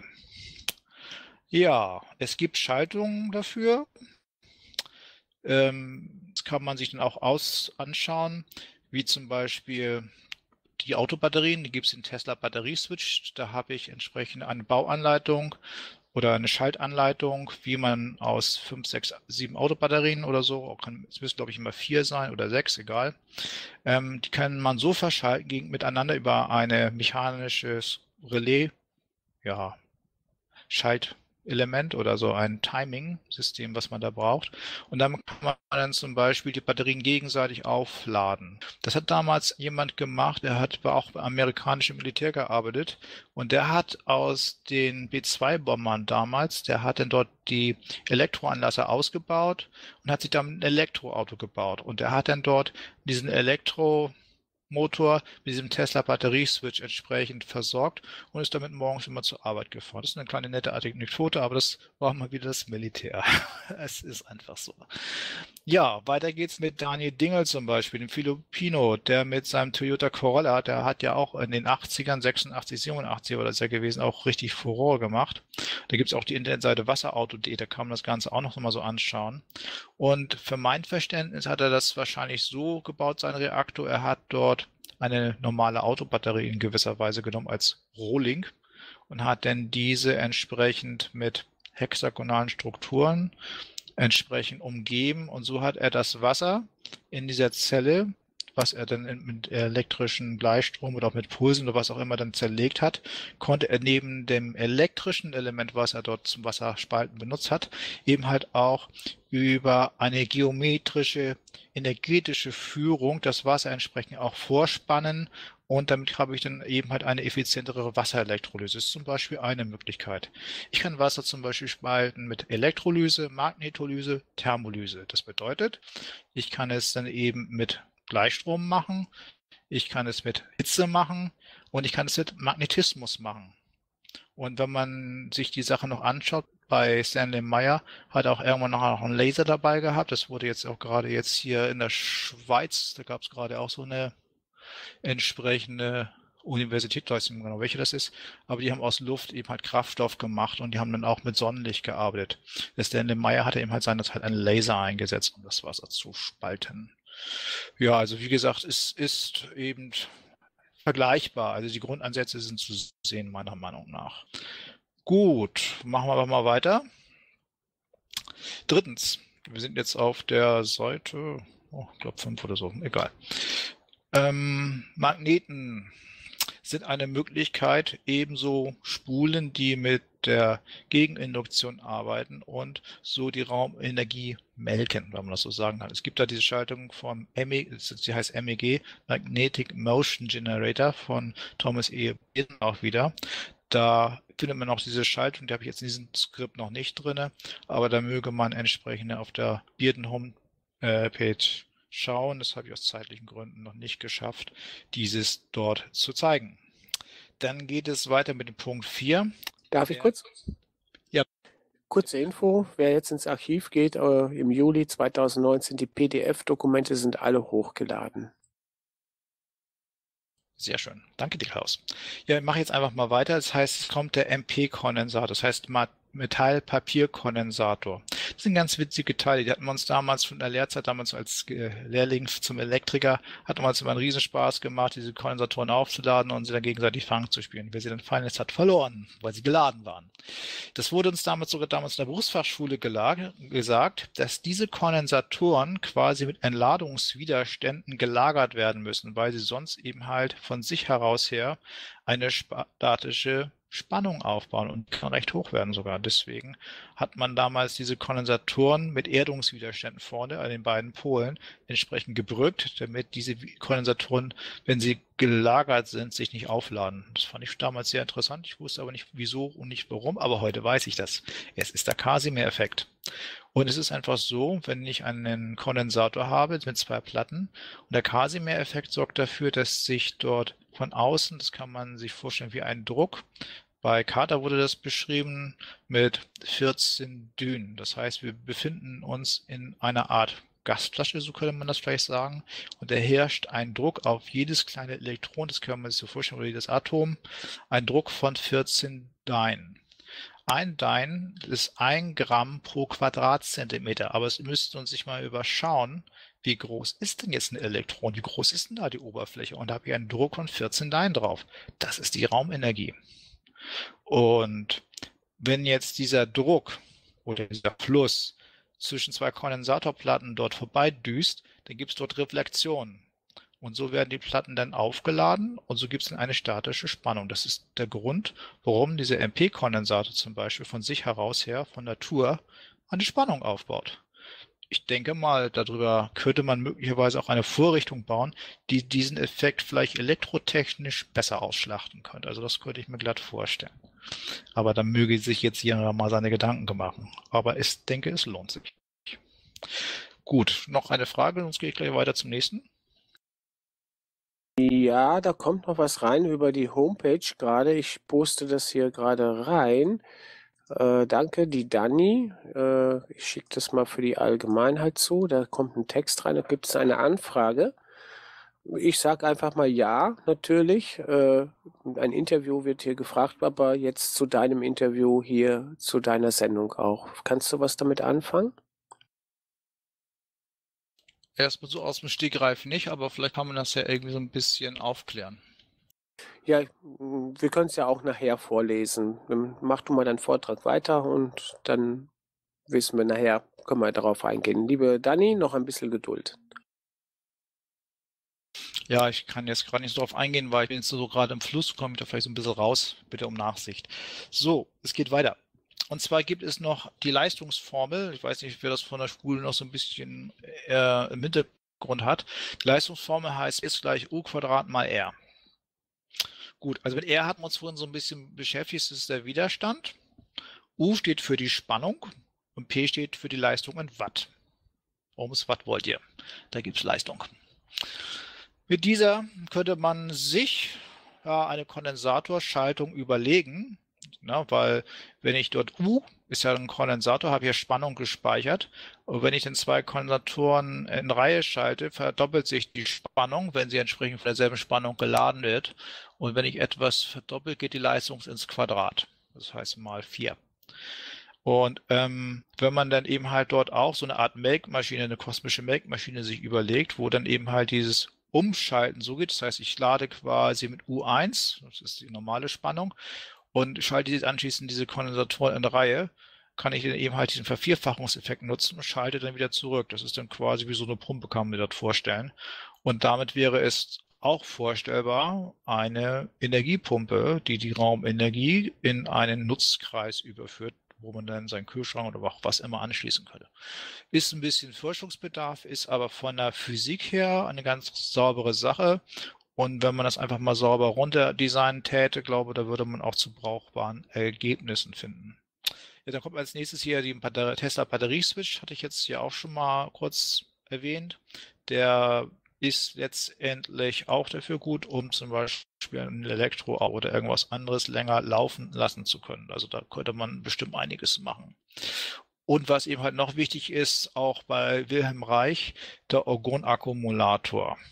Das bedeutet, dass, ähm, ein Akku, das ist ja so ein Bleisäureakku zum Beispiel, den kann ich ja einmal von außen über die Klemmen laden mit Elektronen, beziehungsweise auch das, was der Daniel Dingel damals gemacht hat, er hat ja dort seine Wasserelektrolysezelle wahrscheinlich gehabt mit der hexagonalen Struktur. Das heißt, er hat ihn quasi von außen durch diesen Energiestrom, den ich ja vorhin auch schon elektrisches Universum und so weiter und so fort, Ether, was wir da alles so haben, entsprechend dort ähm, die Energie bereitgestellt.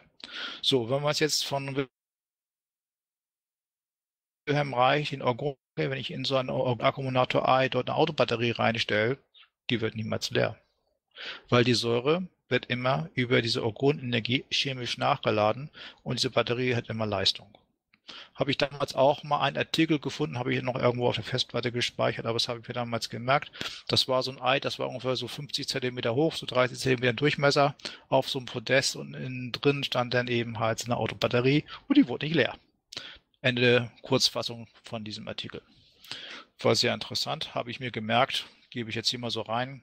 Also das gibt Möglichkeiten. Ja, mache ich gleich noch mal ein bisschen weiter, es sei denn, es gibt eine Frage. Ihr habt so gewollt. Okay, mache ich weiter. Haha, Bitte? ich muss lachen. Ihr habt so gewollt. Ja, keine Fragen, mach weiter. Ja, ist okay. Ich kann ich locker mit um. So, da gibt's noch ein Video, ähm, das war auch, von dem ich damals auch schon äh, berichtet habe, das Erfahrung im Uhrzeitcode, Gleichstromfeld mit plasmatischer Funkenstrecke. Das das habe ich damals auch von einem Schweizer aus bei YouTube runtergeladen, wo ich diese Sachen mir angucken durfte. Und dann habe ich noch eins und eins zusammengezählt. Lieben Dank an dieser Stelle nochmal. So, Das ist eben halt mit diesen Funkenstrecken, das ist immer das nicht-lineare Element und da habe ich eben halt Möglichkeiten, dort eben halt direkt in dieses elektrische universale Feld einzukoppeln. Habe ich die, ist die Funkenstrecke die, wo ich die Möglichkeit habe, wirklich dort in den Puls des Universums wirklich mich einzuklinken. Das ist das, was Tesla wahrscheinlich damals gemeint hat. Das hat er wahrscheinlich herausgefunden. Und ich denke, das wird es sein. Also ich kann mir eigentlich kaum noch anders vorstellen. Es gibt eigentlich keine andere Möglichkeit. Und ich habe mich jetzt schon fast 20 Jahre damit beschäftigt. Es müsste eigentlich dieser Weg sein. Also ich kann es mir schon fast gar nicht mal anders vorstellen im Moment, dass das so der einfachste Zugang ist. Natürlich reden wir jetzt hier von einem Transistor im Vergleich zu einem Halbleiterchip. Also das sind natürlich auch entsprechende Evolutionsschritte oder auch entsprechende technologische Sprünge drinne. Aber wir reden uns jetzt hier erstmal von dem einfachen Transistor, wenn man das so sagen darf. Also wie sieht er so grundsätzlich aus? Das ist ja damals auch relativ modular zur Sache, dass man eine relativ große Kiste immer auf dem Tisch gehabt hat. Ein einzelner Kristall mit Dotierung. Das war ein richtig großes Teil. Das war so groß wie ein Becher. Das war der erste Transistor. Gut, und in diesem Sinne denke ich mal, wenn man jetzt erstmal irgendwo anfängt und die ganze Sache optimiert und es erstmal grundsätzlich verstanden hat, wie es abgeht, dann denke ich mal, sind auch weitere Optimierungen, denke ich, keine, keine große Schwierigkeit mehr. Gut, es geht nochmal auf das Patent von dem Edwin Gray ein. Der hat das am 17. Juni 1986 mit der Nummer 4 595975 veröffentlicht. Und das war eben halt auch so eine Maschine, die mit einem Plasma-Effekt, mit drei solchen Kammern muss ich noch dazu sagen, das hatte ich auch in morgen äh, bei dem Wookie Talk Meeting Festival vorgestellt, allerdings nur eben halt dort in dieser einfachen Ausführung. Aber man kann natürlich Wechselstrom haben oder auch Drehstrom. Das ist ja alles eine Frage der Komforts. Gut, auf jeden Fall hat er dort damals in diesem Patent eine sehr ominöse Schaltung reingepackt. Er war halt einfach irgendwie kein richtiger Elektriker und die Schaltsymbole, die er äh, benutzt hatte und so weiter, das war alles irgendwie nicht so ganz klar. Die Fachwelt staunte, der Laie wunderte sich und ähm, keiner hat so richtig verstanden, was er da eigentlich angestellt hat. Aber es gab nachher einen findigen Ingenieur, der hieß Peter Lindemann. Ich glaube aus Kanada oder was war der? Der hat diese Schaltung übersetzt. Und mit dieser Übersetzung war es dann nachher möglich, dort auch den QEG zu verstehen, was dahinter geht und so weiter und so fort. Weil letztendlich, wenn man sich genug Energiekonvertersysteme sich angeschaut haben, haben die alle irgendwo eine Gemeinsamkeit. Und diese Gemeinsamkeit ist der Schlüssel für das Verständnis dieser Systeme. Weil die kochen alle irgendwo mit Wasser. Also von daher muss da irgendwo immer eine gewisse, ja, eine gewisse Eigenheit sein, ne? das ist den nicht-lineare Element zum Beispiel und so weiter und so fort, was eben halt dazu führt, dass es sich in diese Domain oder was es auch immer ist, sich einklinken kann und dort die Elektrizität, Tesla hat damals ja auch von einer feinstofflichen Elektrizität gesprochen, entsprechend äh, in diesem grobstofflichen Bereich für uns nutzbar wird. Gut, und dann gibt es eben halt die Sache mit dem Lichtbogen. Also ich kann es nochmal so beschreiben. Was heißt das jetzt hier? Der Lichtbogen hörte auf zu knattern und er wird zu einem leisen, gleißenden, leuchtenden Lichtbogen. Was passiert hier gerade? Am besten ist es wohl so zu vergleichen, sagte ich auch schon, wie Implosion mit Explosion. Das kennen wir noch von Schauberger. Das ist, glaube ich, eine ganz gute Geschichte, da können wir uns gedanklich reindenken. Das Vorzeichen ändert sich und wir bekommen dann einen Minus-R-Widerstand, wo nun die Raumenergie einfließen wird. Das heißt, es ist also ein Mitnehmer, Mitströmer-Effekt, also wie eine Wassermühle, die dann in den Bach reingestellt wird und jetzt anfängt zu laufen. So, eine Maschine äh, könnte schon laufen, wenn sie einen Job, also Koeffizient over Performance, Performance von 1,5 hätte. Damit sind die Eigenverluste kompensiert. Das heißt, eine so eine Maschine müsste eben halt einen Faktor von 1,5 haben, damit sie, sag ich mal, erstmal laufen bleibt. Da ziehen wir noch keine Energie raus, noch nichts. Aber das würde reichen, damit sie sich selbst erhalten könnte. Der Atomphysiker Thomas Bearden hat ein sehr spannendes und auf den Punkt gebrachtes Buch oder eine, mehr ein Heft mit den Schaltungen, das hatte ich jetzt eben schon einmal erwähnt. Das ist The Final Secret of Free Energy. Ist von 1993, T.A. Bearden. Das ist ein Verlag wahrscheinlich AD, AS. Eine, eine, eine, eine, eine Postbox, PO, Box 1472 Huntsville, Alabama 35807 aus dem Februar 1993. So, und da gab es nochmal eine Neuauflage vom 23. März 1993. So, und da sind jetzt diese Schaltungen, von denen ich vorhin schon ein bisschen gesprochen habe, so ein bisschen abgebildet. Und das ist letztendlich, wenn man so ein bisschen als Elektrotechniker sagt, okay, das verstehe ich, der geneigte Elektriker oder der visierte Laie kann da vielleicht auch noch was mit anfangen, aber dann wird es wahrscheinlich auch schon ein bisschen dünn. Aber letztendlich geht es in dieser Schaltung darum, es gibt dort einen sogenannten Kollektor, der auch quasi so ausgeführt ist, dass man wie bei dem Kondensator, wie ich das vorhin schon erwähnt habe, äh, anfängt, eine gewisse statische Spannung aufzubauen. Das heißt, er füttert sich gewisserweise selber an und dann ist es so, dass durch einen Konversionsprozess, so muss man sich das vorstellen, sich dieser Kondensator ganz auflädt. Und dann kann man diesen geladenen Kondensator seinem Verbraucher zuführen oder seiner Glühlampe oder was auch immer man da haben möchte. Und so wäre es dann möglich, dort diese Energie aus diesem Vakuumfeld oder was das doch mal genau sein soll, herauszuziehen und daraus eben halt seinen Nutzen zu ziehen. Diese Schaltung, das ist hier zum Beispiel als Bild, wenn man nachher das nachhören möchte, auf der Seite 7, das ist die Figur A1. Da sieht man so eine Steuerelektronik, also ein, so, so, ein Timer, das ist dann quasi so ein Rechteckgenerator, der entsprechend dort äh, ja, digital, das war damals alles auch ein bisschen rudimentärer. Heute kriegt man das so ein bisschen einfacher alles hin, weil die Bauteile heute einfach besser geworden sind. Und da hat man dort eine entsprechenden zwei Halbleiter, in dem Fall nennt man das ja MOSFETs, N-Channels, für den geneigten Ingenieur, weiß, weiß jetzt, was gemeint ist. Für den geneigten Laien kann man dazu vorstellen, wie zwei Schalter, die ja gebrückt werden. Das kann man sich so vorstellen wie zwei Schalter in Reihe. Auf der einen Seite kommt ein bisschen Energie an, wird ein bisschen angefüttert, der Kollektor, und dann wird auf der anderen Seite entladen mit der Leistung. Und dieser Kollektor, den, da habe ich lange drüber nachgedacht. Also das Ding habe ich nicht so richtig verstanden. Wieso, warum, weshalb. Er hat damals einfach gesagt, dieser Kollektor besteht aus 98% Aluminium und 2% Iron, also Eisen.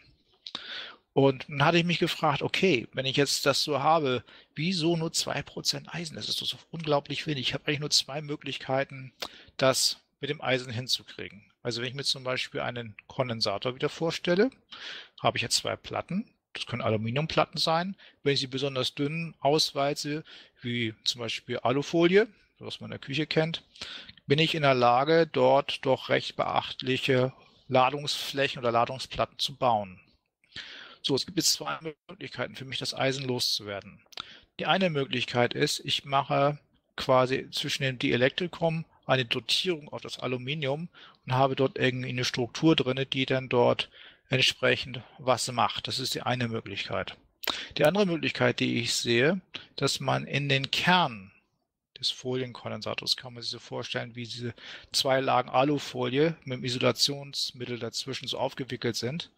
Ist ein bisschen wie eine Spule, wie zwei, wie so eine Bifila gewickelte Spule, zwei Wicklungen, die in der Mitte letztendlich einen Eisenkörper haben. Und wenn ich durch diesen Kondensator eine Energie schicke, die einerseits äh, durch die Platten eine Art von Aufladung, einen Stromfluss und auch andererseits irgendwie so wie eine Entwicklung, wie bei einer Spule. Und das bedeutet, ich würde dort einen, ein Bauteil haben, was weder Kondensator noch Spule ist. Es ist irgendwas dazwischen. Und dieses Bauteil hätte nach meinem Verständnis wieder einen nicht linearen Effekt. Und das wiederum wäre für mich ein Kandidat, um die Energie aus dem Raum für uns wieder nutzbar zu machen. Also das ist so doch vielleicht eine Möglichkeit, um das irgendwie handhabbar zu machen. Also das ist immer ein bisschen nervig, das Ganze auf Englisch. Man muss lange drüber nachdenken, um das, was zwischen den Zeilen steht, was man vielleicht irgendwie nicht so richtig versteht, aufgrund dieser Sprachbarriere, das irgendwie dann doch zu verstehen. Und das ist natürlich dann der Vorteil. Wenn man es verstanden hat, hat man es verstanden und dann gibt es auch kein Zurück mehr. Ja, und diese Sache geht dann nachher noch weiter. Äh, nachher weiter? Machen wir eine Musikpause, oder?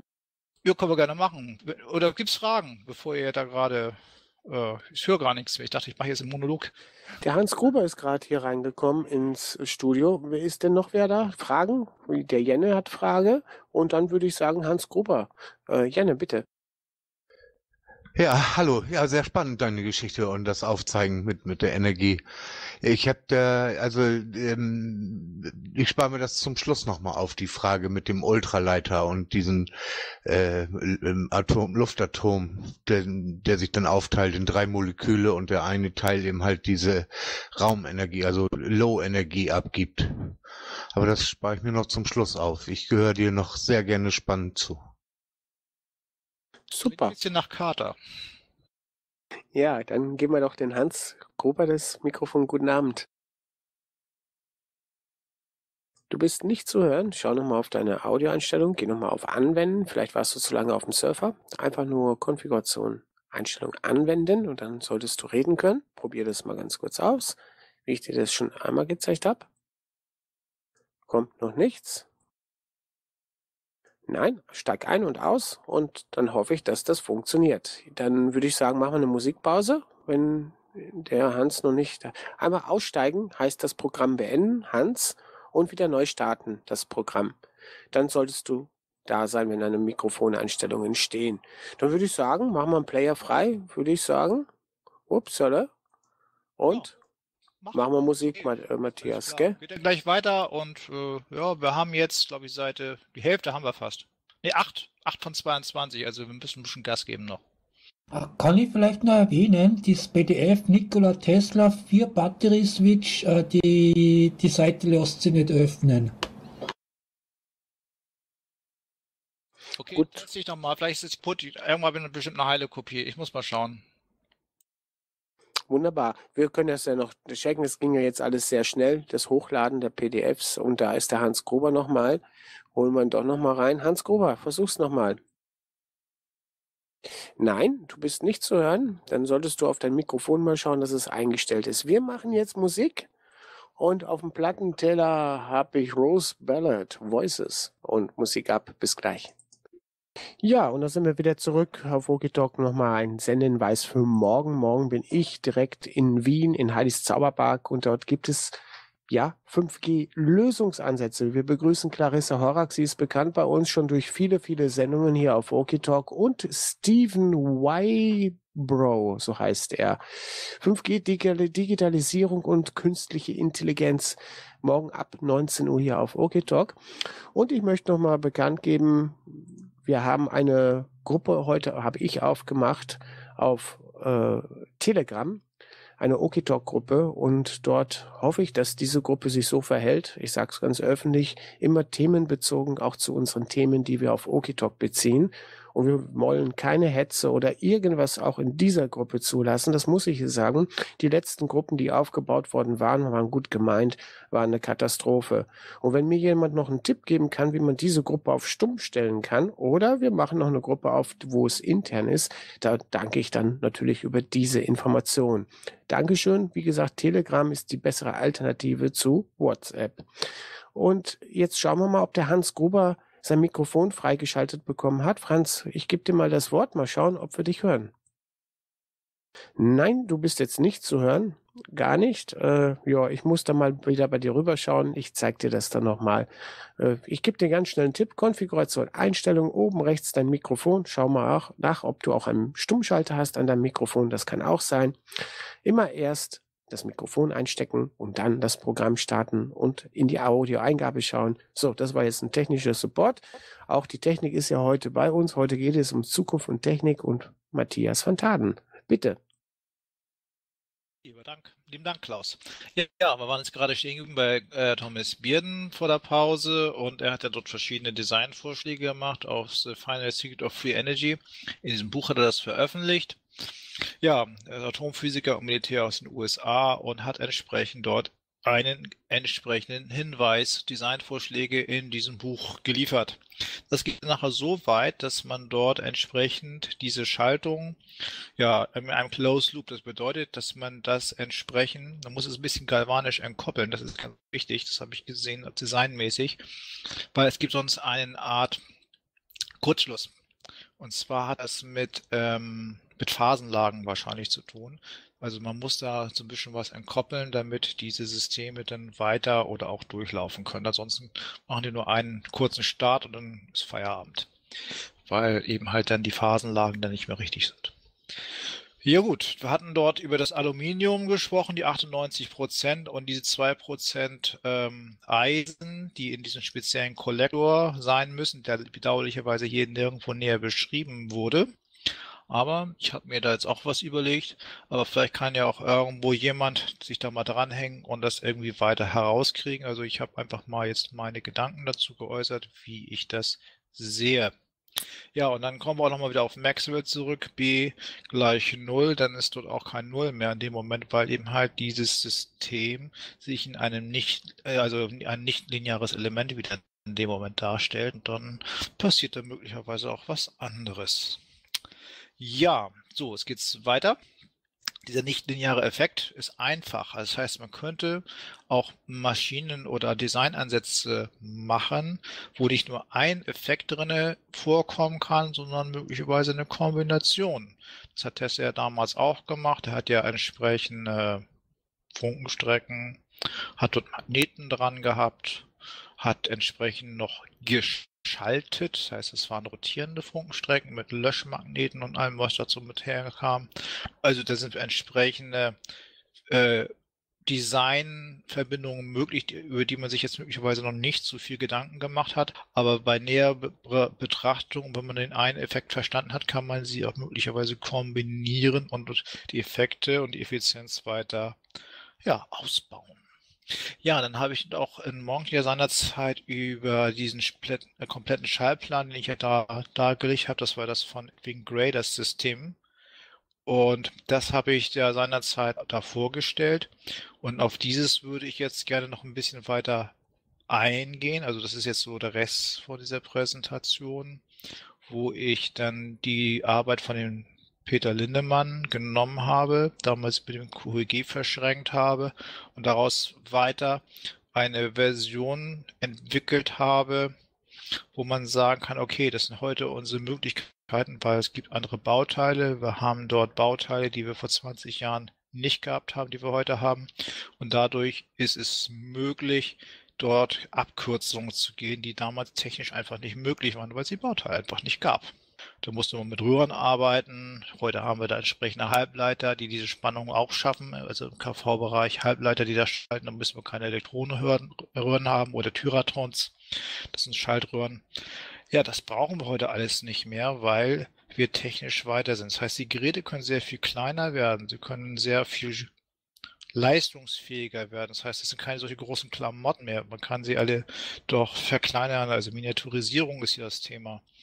Und wenn wir das jetzt wirklich vollends verstanden haben, wie welcher Effekt zusammenpasst, wie was wie gebaut sein muss, damit dieser Effekt, den wir haben wollen, den wir wünschen, sich vollends entfalten kann, was ja auch in dem Patent für den Edwin Gray vom 17. Juni 1986 oder der Nummer 455975 entsprechend dargelegt worden ist. Es gibt auch super Artikel dazu, wo er damals das präsentiert hat in der Öffentlichkeit. Das Ding lief perfekt wurde auch zum Patent angemeldet und hat es dann irgendwie geschafft. Nur, er hat es wohl geschafft, nur wurde es nicht verstanden, das was und das wie. Das ist das, wo es klemmt heute. Und da versuche ich dann eben halt, das irgendwie nachzuvollziehen. Und da hatte eben halt der Dr. Peter Lindemann, gleich, ich glaube sogar Dr. weiß ich nicht, Entschuldigung, weiß ich nicht mehr so genau, ähm, kalter elektrischer Kreis. Es gibt auch von den Peter Lindemann The Secret of Cold Electricity. Das sind entsprechend zwei Filme oder zwei Videos, wo er sich über das Geheimnis der kalten Elektrizität äußert. Tesla hatte damals von der feinstofflichen Elektrizität gesprochen. Und dann haben wir schon wieder zwei Hinweise. Ich sage, okay. Und dann kommt noch der Steve, äh, der, der Herr Hodgson aus Kanada, der ja auch entsprechend dort mit ja, Hochspannung und Tesla-Trabos Dinge levitieren lässt und so weiter und so fort. Man spricht hier vom sogenannten Hutchison-Effekt. Und der hat eben halt auch entsprechende Dinge und Sachen geliefert, wurde leider erstaunt und der Fachmann wundert sich. Aber es ist alles okay. Und das ist ja das, was wir ja leider feststellen müssen, dass wir eben halt Otto-Normalphysiker haben und eben halt Militärphysiker. Und die haben irgendwie komplett unterschiedliche Ausbildung, kann man manchmal meinen. Es ist traurig, aber ich hoffe, ich jetzt niemanden auf den Schlips zu treten, aber bitte kümmert euch. Es gibt noch viel zu holen für euch. Ja, und dann hatte ich da eben halt kalter elektrischer Stromkreis 2 in Mank vorgestellt, wo ich dann entsprechend mit moderneren Bauteilen ähm, diesen Stromkreis oder diese Schaltung abgeändert habe auf dem Papier. Und ja, dann eben dort kann man sich nachher anschauen. Da habe ich dann ein Hochspannungsgerät, also eine Zeilentraube vom Fernseher genommen. Da war früher so ein, ein Zahacker mit Relaisspuren, den müsste richtig gefeuert haben und da wird wahrscheinlich kein Radioumkreis von 500 Metern mehr funktionieren, wenn das Ding richtig gearbeitet hat. Geht ja heute alles nicht mehr. Können wir heute alles anders machen? Wir haben dort entsprechende Transistorschaltung mit Puls-Weitenmodulation. Das ist dann eben halt noch auch wichtig, um dieses Rückströmen des äh, Lichtbogens so umzuschalten, dass eben halt von diesem lauten Knattern übergeführt werden kann in dieses Glimmen. Das heißt, damit kann ich dann den Polaritätswechsel der Plasmafunkenstrecke eben so herbeiführen, dass ich dann eben halt einmal diesen Mitnehmereffekt habe und einmal nicht. Und dann kommt eben halt hinten dran noch ja, eine Zerhackerröhre drinne. Das können wir heute mit Halbleitern machen. Dann müssen wir heute keine Röhren mehr haben. Da gibt es mittlerweile Halbleiter, die zwischen 2 und 5 kV direkt schalten können. Das ist natürlich sehr schön. Früher gab es nur Relaiskontrakte oder eben halt Elektronikröhren zum Schalten, weil einfach dort die Spannungen zu hoch waren für Halbleiter, die sind einfach durchgebrannt. Der Strom ging einfach durch und fertig. Das ist jetzt einfach mittlerweile anders, weil wir einfach bessere Werkstoffe, bessere Technologien haben, um solche Schaltelemente auch für diesen Spannungsbereich haben zu dürfen. Ja, dann sind da eben halt Transformatoren und Übertrager zu sehen. Ja, also da ist auch der klassische Transformator drin. Ich hatte seinerzeit gesagt oder vorgeschlagen, man sollte da möglicherweise bifilar gewickelte Flachspulen machen, weil die haben von der Phasenlage immer 0 Grad. Das heißt, so wie es reinkommt, geht es auch wieder raus. Also ich habe da keinen kein Dreheffekt drin. Und zum anderen kann ich mir dort eben halt auch in der Flachspule super Mittelpunktanzapfung, also Wicklung herausführen, wie bei einem sogenannten Spartravo. Und so bin ich dann eben halt auch in der Lage, dort entsprechende Anpassungen vorzunehmen in Resonanzen oder Energieauskopplung. Nützt ja nichts, wenn ich da mit 5000 Volt reingehe und nachher wieder 5000 Volt raus. Das heißt, ich muss dann da irgendwo eingreifen können und dort eben halt etwas herunterzuspannen, damit ich das nachher in den sogenannten Verbraucherkreis einspeisen kann. Aus diesem Kreis kann ich dann wieder quasi den Closed Loop, also den geschlossenen Rückflusskreis entsprechend bereitstellen, um dann wieder die Hochspannungseinheit wieder zu versorgen, damit er eben halt in die nächste Runde gehen kann, der Prozess, damit das System ja weiterlaufen darf.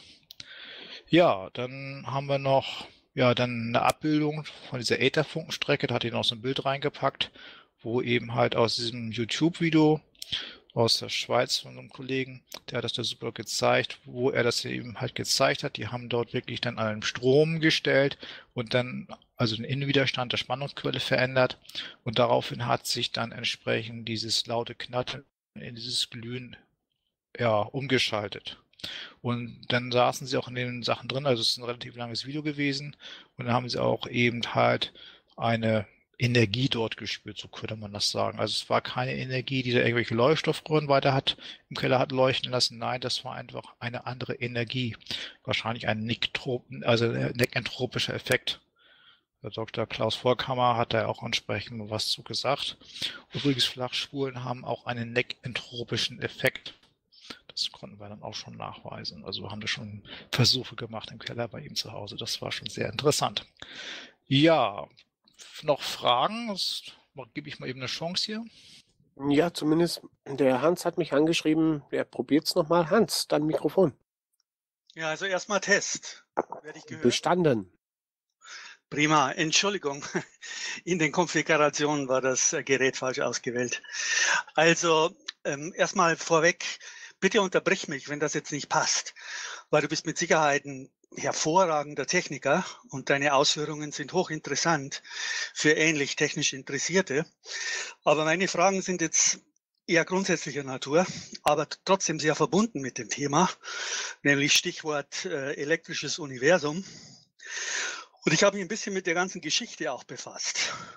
Tesla, wie er groß geworden ist, wie er plötzlich untergegangen ist, wie gleichzeitig Einstein groß geworden ist, beziehungsweise gepusht worden ist von bestimmten Kreisen und so weiter. Da gibt es einen hervorragenden Mann, der heißt Paul Dumba, hat eine große Website, die vor allem diesem Thema gewidmet ist. Ich habe das auch im Chat verlinkt, äh, die Seite. Und das interessiert mich sehr. Das, ähm, ähm, ich gehe auch gleich ganz, ganz kurz auf den Unterschied ein, so wie ich ihn wahrnehme. Und dann korrigiere ich mich gerne, äh, wenn das nicht richtig ist. Ähm, ja, ich mache es vielleicht gleich, bevor ich jetzt äh, wieder in eine andere Richtung gehe. Und zwar, ähm, also Tesla ist ja die primäre Stimme für das elektrische Universum. Er hat es wohl nicht entdeckt, das ist schon früher der Fall gewesen, aber er ist auf jeden Fall der primäre Vertreter und hat sich vor allem um die praktischen Anwendungen äh, auch gekümmert. Also laut einem großen Forbes-Artikel gab es ja über 400 Patente von Tesla. Also das war ja, äh, Genie ist ja eine totale Untertreibung für den Mann. Ja, sage ich jetzt mal so. Äh, und es gibt ja wohl auch das Zitat von Einstein, der mal gefragt worden sein soll, ähm, wie fühlt man sich denn, Herr Einstein, das größte Genie der Welt zu sein? Und da hat er geantwortet, das weiß ich doch nicht, da müssen Sie Nikola Tesla fragen. Also insofern war er auf jeden Fall so integer, das zuzugestehen. Und es gab ja eindeutig ein großes Spannungsverhältnis auch zwischen ähm, Tesla und Einstein. Also Tesla war ja hochkritisch gegenüber den primären Theorien von Einstein. Und äh, wesentlicher Knackpunkt dieser Kritik scheint gewesen zu sein, dass also Tesla wie alle anderen Vertreter des elektrischen Universums und da gab es viele, die sind ja in der Zeit auch systematisch unterdrückt worden. Da gab es mal eine Konferenz von 100 Wissenschaftlern, alle gegen Einstein ausgesprochen. Ich glaube, das war Anfang der 30er. Das haben die Medien einfach ignoriert, sage ich jetzt mal so. Also Einstein ist systematisch gepusht worden. Und äh, Tesla nach seinem fulminanten Start ist dann irgendwie, ja, sage ich jetzt mal so, kalt gestellt worden, ja. Und äh, ein wesentlicher Kritikpunkt scheint ja gewesen zu sein, dass ähm, also das ganze Universum ist durchzogen oder durch, durchdrungen von Energie. Ja, das ist ja auch ein uraltes Konzept. Die Inder nennen das äh, Äther und Prana. Ja, also nee, äh, äh, Akasha und Prana, die alten Griechen haben es Äther genannt und so weiter. Und es gibt ja auch durchaus einige Aussagen von Tesla, wo er diese Konzepte aufnimmt. Er hat ein großes Faible für den Buddhismus. Laut der Leiterin des äh, Museums in Belgrad soll er in seinen Briefen auch gesagt haben, dass die Religion, die er wirklich bevorzugt vor allen anderen, der Buddhismus sei. Und generell für die altindische Spiritualität hat er sich ja sehr interessiert, weil es da natürlich eine direkte Verbindung gibt. Und das ist der Hauptgrund, warum mich das ganze Thema auch interessiert, weil das ist so mein persönlicher Hintergrund auch. Und elektrisches Universum ist natürlich eine eine, eine wissenschaftliche Grundlage für diese ganze altindische Spiritualität, wo es ja darum geht, dass die im Körper gebundenen Energien freigesetzt werden, so dass man sich selbst mit dieser universellen Energie zunehmend vereinigt. Darum geht's im Tantrismus, im Kundalini, in der Arbeit mit den Chakras, in der Arbeit mit den Energiekanälen und so weiter. Deswegen interessiert mich das so. Das nur im Hintergrund. So, und das war der Hauptgrund, äh, Hauptkritikpunkt an Einstein, dass laut Einstein ja eigentlich von einem absolut leeren Raum ausgegangen ist. Also nicht einem energiegefüllten Raum, so wie, Einstein, äh, wie, wie Tesla das getan hat. Und das war ein wesentlicher Knackpunkt. Ne? Und äh, offenbar ist es zu dieser Theorie vom gekrümmten Raum bei Einstein gekommen, weil er davon ausgegangen ist, dass, äh, dass die Schwerkraft auf den Raum so einwirkt, dass er sich krümmt, weil die Vertreter des elektrischen Universums sind davon ausgegangen, dass es dieses Medium der Übertragung gibt, nämlich Äther oder Akasha, wodurch Schwerkraft wirkt, wodurch Elektromagnetismus wirkt, wodurch Licht wirkt. Ja, und deswegen, ähm, ja, das ist das Übertragungsmedium. Und Einstein hat das sozusagen negiert und musste da mit solchen Theorien kommen wie. Na los, weg. Jetzt vielleicht ganz gut mal auch reingehen, jetzt ein bisschen was drauf antworten. Das war eine ganze Menge jetzt, ne? Ja, gehen wir ruhig drauf ein. Herr Hans, hm, mal kurz unterbrechen, passt schon, ne? Äh, ja, ja, ist prima. Ich weiß nicht, was das letzte war, was man jetzt von mir gehört hat, aber alles gut. Ja gut, also zum einen jetzt erstmal mit Einstein, also kannst du dir mal den Carter angucken. Also wenn ich den Josef Carter, vor dem ich auch immer spreche, entsprechend zitiere, wird Einstein äh, nach seiner Aussage atomisiert mit seinen Gedanken, weil er hat wirklich die Physik über 100 Jahre ausgebremst. Er war ein richtiger Bremsstein. Das war so kurz äh, die Aussage von dem Joseph Carter. Und wenn man sich die Sachen und die Schriften so angeschaut hat, kann man wirklich zu dem Schluss kommen. Und das ist wahrscheinlich auch das, was ich mir jetzt überlegt habe, wir haben einen Otto Normalbürger und vielleicht gibt es jetzt auch so etwas wie ein Otto Normalphysiker. Und der Einstein hat eben halt den Otto Normalphysiker irgendwie eingeleitet und hat eben halt die ganzen Wissenschaftler damals von der Alchemie in all diesen Dingen weggebracht, meiner Meinung nach. Und es, was natürlich auch noch sehr interessant ist, dass in den Sanskrit-Texten, was ja auch aus diesem Bereich kommt, den du so angesprochen hast, auch sehr viele Technologien, Metallurgien, Vorrichtungen, Maschinen und Sachen drin beschrieben sind, besch äh, beschrieben und äh, zu sehen sind in alten, uralten Sanskrit-Texten und in Originaltexten, wo wir heute mal gerade in der Lage sind, diese Metallurgien oder diese Legierungen, die beschrieben sind, zu verstehen und auch möglicherweise schon herstellen können. Also letztendlich hat es früher eben halt diese Hochkultur gegeben und ich denke mal, dass eben halt dieses Auf und Ab, es gibt ja auch die Zyklen im Universum von Aufgang und Niedergang und dass eben halt diese Informationen von der letzten Hochkultur dort niedergeschrieben worden sind. Dann wurde die Schrift irgendwie vergessen oder keiner konnte es nachher mehr lesen oder richtig verstehen. Und jetzt finden wir es so langsam wieder und kommen jetzt langsam gerade wieder zu diesem Frühlingspunkt. Es geht ja mal so rauf und runter im Universum. Na, da gibt es ja auch das platonische Raumjahr und so ein paar andere Zyklen, auch Maya-Kalender und was es da alles so gibt. Und in dem Kontext betrachtet, denke ich mal, hat ja auch Nikola Tesla auch eine Rolle gespielt, um eben halt auch ähm, dort als Informationsvermittler oder auch als Pionier, könnte man schon fast sagen, uns eben halt dieses Know-how zurückzugeben. Ja, das glaube ich sofort. Also ich weiß jetzt nicht, nicht nichts näher zu diesen Techniken in den Veden, äh, Veden, aber dass er sich viel auf die Veden bezogen hat und Konzepte wie Prana, Akasha und so weiter.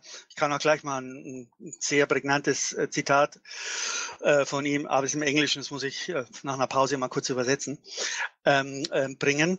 Also das war eindeutig, diese Verbindung von Tesla zu diesen altindischen Konzepten. Ähm, und das macht ja so spannend, weil wie gesagt, also in dieser ganzen, ich nenne es jetzt mal Energiespiritualität, die ja vor allem im alten Indien beheimatet ist, ähm, ja, Stichworte Kundalini, Chakren, Nadis. Ja, da geht's immer um Energie, die im Körper gebunden ist, gehemmt ist, blockiert ist und so weiter und um verschiedene Techniken, die zu befreien. Ja, und je mehr die befreit wird und aufsteigt, deswegen ja auch das Symbol der aufsteigenden Kundalini, desto mehr kommt es zu einer Vereinigung mit dieser universellen Energie. Und das, äh, auch wenn Tesla da jetzt nicht detailliert drauf eingegangen ist, ähm, aber es gibt genug Zitate von ihm, die andeuten, dass er diese Sicht geteilt hat, ist der Mensch imstande, das zu leisten. Und das ist natürlich eine enorme Revolution, sag ich mal so, des Denkens. Ich meine, wenn das wirklich ins breite Bewusstsein eindringen würde, das wäre ja eine Ermächtigung des Individuums ohne Gleichen. Ja, und genau deswegen ist er wohl auch unterdrückt worden von bestimmten Kreisen. Also der Paul Dumba, ich habe das verlinkt, kann es auch hier gleich nochmal in Text ähm, den Link bringen, der geht da im Einzelnen drauf ein, wie also wirklich das parallel war. Einstein ist gepusht worden und Tesla ist unterdrückt worden. Und da gab es zum Beispiel 1931 eine Konferenz mit über 100 Wissenschaftlern, Deutschen, ja, die ein Sammelband gegen Einstein herausgebracht haben. Ja, die sind einfach totgeschwiegen worden. So wie heute alle möglichen. ich wollte es gerade sagen, also ich wollte es gerade sagen. Ich habe doch damals eine andere Geschichte gehört, das war auch irgendwie im Zusammenhang mit Tesla, wenn er dann irgendwelche Apparate oder irgendwelche Maschinen dort vorgeführt hat, war das so, dass dieser Apparat in seiner Gegenwart irgendwie funktioniert hat und wenn er den Raum oder irgendwie das bisschen weiter verlassen hatte, hat es dann irgendwie nicht mehr funktioniert. Also das würde möglicherweise das, was du andeutest, dort in diese Richtung doch irgendwie doch ein bisschen Futter geben. Ja, klar, klar. Aber mir geht es ja vor allem auch um dieses politische Projekt der Unterdrückung von Tesla und des Pushens von Einstein. Und weil das scheint bis heute relevant zu sein. Ich meine, es ist ja nicht so, dass Einstein jetzt irgendwie äh, wirklich kritisch betrachtet wird heute, ja. Und laut diesem Paul Dumba ist es dann heute von mir das ein Stephen Hawking oder so. Vielleicht kannst du zu dem auch ein paar Worte sagen, der so ein bisschen die Rolle von Einstein einnimmt. Ne? Das ist quasi, also psychologisch gedacht, laut Paul Dumba war es so, dass das unglaubliche Charisma von Tesla und die revolutionären Entdeckungen, die ja die Welt im Prinzip wenn da nicht Psychopathen dagegen gewesen wären, mit freier Energie versorgt hätten. Das heißt, wir hätten heute ein Paradies auf Erden ohne irgendwelche Konflikte. Aber da gab es eben Psychopathen an der Macht, die da schwer was dagegen hatten. Und um dieses Charisma zu unterdrücken und dieses Vakuum zu füllen, hat man Einstein gepusht. Da gibt es auch eine andere Sache, die wollte ich ja auch nochmal darauf hinweisen. Ich habe mal eine andere Geschichte gehört, dass zum Beispiel die Sache mit Kundalini und alles, was wir dort haben, äh, eine Sache ist, die eigentlich nicht zu eigen ist. Das gehört eigentlich nicht direkt zu uns, das wurde uns irgendwie auf, auf äh, aufoktroyiert. Und es sind einfach Techniken oder Energien. Wenn zum Beispiel der Körper noch nicht so weit ist und du schaltest da eine stärkere Energie rein, was passiert dann? Er verbrennt. Also von daher muss man auch mal schauen. Es gab auch damals in den USA, da wurden auch entsprechende Kundalini-Gruppen und solche Sachen gemacht, wo dann wirklich Leute, die noch nicht so weit gewesen sind, vom Bewusstsein oder wie auch immer, ähm, die das dann gezündet haben und dann ist wirklich das Gehirn verbrannt. Also das ist wirklich äh, nicht äh, ohne. Und diese Energie, auch das Elektrische und solche Sachen, das hat auch mit Keta, mit den Informationen zu tun. Und wenn wir eben halt informationsmäßig nicht das bekommen, was wir brauchen, was wir haben sollten und dann einfach dann dort die Energie draufgeschaltet wird, dann fehlt uns das nötige Programm, also die Software und dann brennt die Kiste einfach ab, die Hütte. Und dann haben wir ein Problem. Und deswegen ist es eben halt wichtig, dass eben halt die Information Information als es da sein muss, damit du mit der Energie umgehen kannst. Und sonst geht es dir wie dem Zauberlehrling bei Goethe. Walle, Walle, Wasserweihe. Ja, hundertprozentig richtig. Also ich meine, deswegen, äh, das sagen auch alle Vertreter, also ernsthaften Vertreter dieser Energiespiritualität, gibt es eine hochinteressante amerikanische Tradition, Druckkammer, wo man sukzessive, also über ein regelrechtes Programm langsam eingeführt wird. Und ich kenne mich ein bisschen aus mit den Szenen, also der hat wirklich was zu sagen. Ich bin jetzt kein Schüler, ich bin auf die relativ neu gestoßen, höre den Vortragen aber mit großem Interesse zu. Und das hat auch der Buddha zum Beispiel ganz klar betont. Ohne eine Grundlage, das heißt einer entsprechenden Festigung äh, auf dem spirituellen Weg. In buddhistischer Terminologie heißt das eine ausgeprägte Ethik, eine ausgeprägte Ruhe des Geistes und auch tiefe Einsichten. Ähm, kann man diese Energien nicht äh, beheimaten, wenn man die freisetzt. Das ist völlig klar. Und eben halt das, worum es jetzt geht. Das heißt, auch jetzt in diesem Fall ist das auch so. Das heißt, dass, dass die Grundlagen dieser Raumenergiekonverter, also diese Kleinigkeiten, was braucht man denn jetzt dazu? Was haben wir herausgefunden? Was hat sich gezeigt, dass man diese Sachen beherzigt? Sicherheitsmaßnahmen habe ich auch am Anfang, ich weiß nicht, ob du dabei gewesen warst schon, auch entsprechend alles vorgestellt, dass dort auch entsprechend ein Sicherheitsdenken mit rein muss. Nicht, dass einem so eine Maschine dann irgendwie durchgeht und ich sie nicht mehr stoppen kann, wie der Zauberlehrling bei Goethe.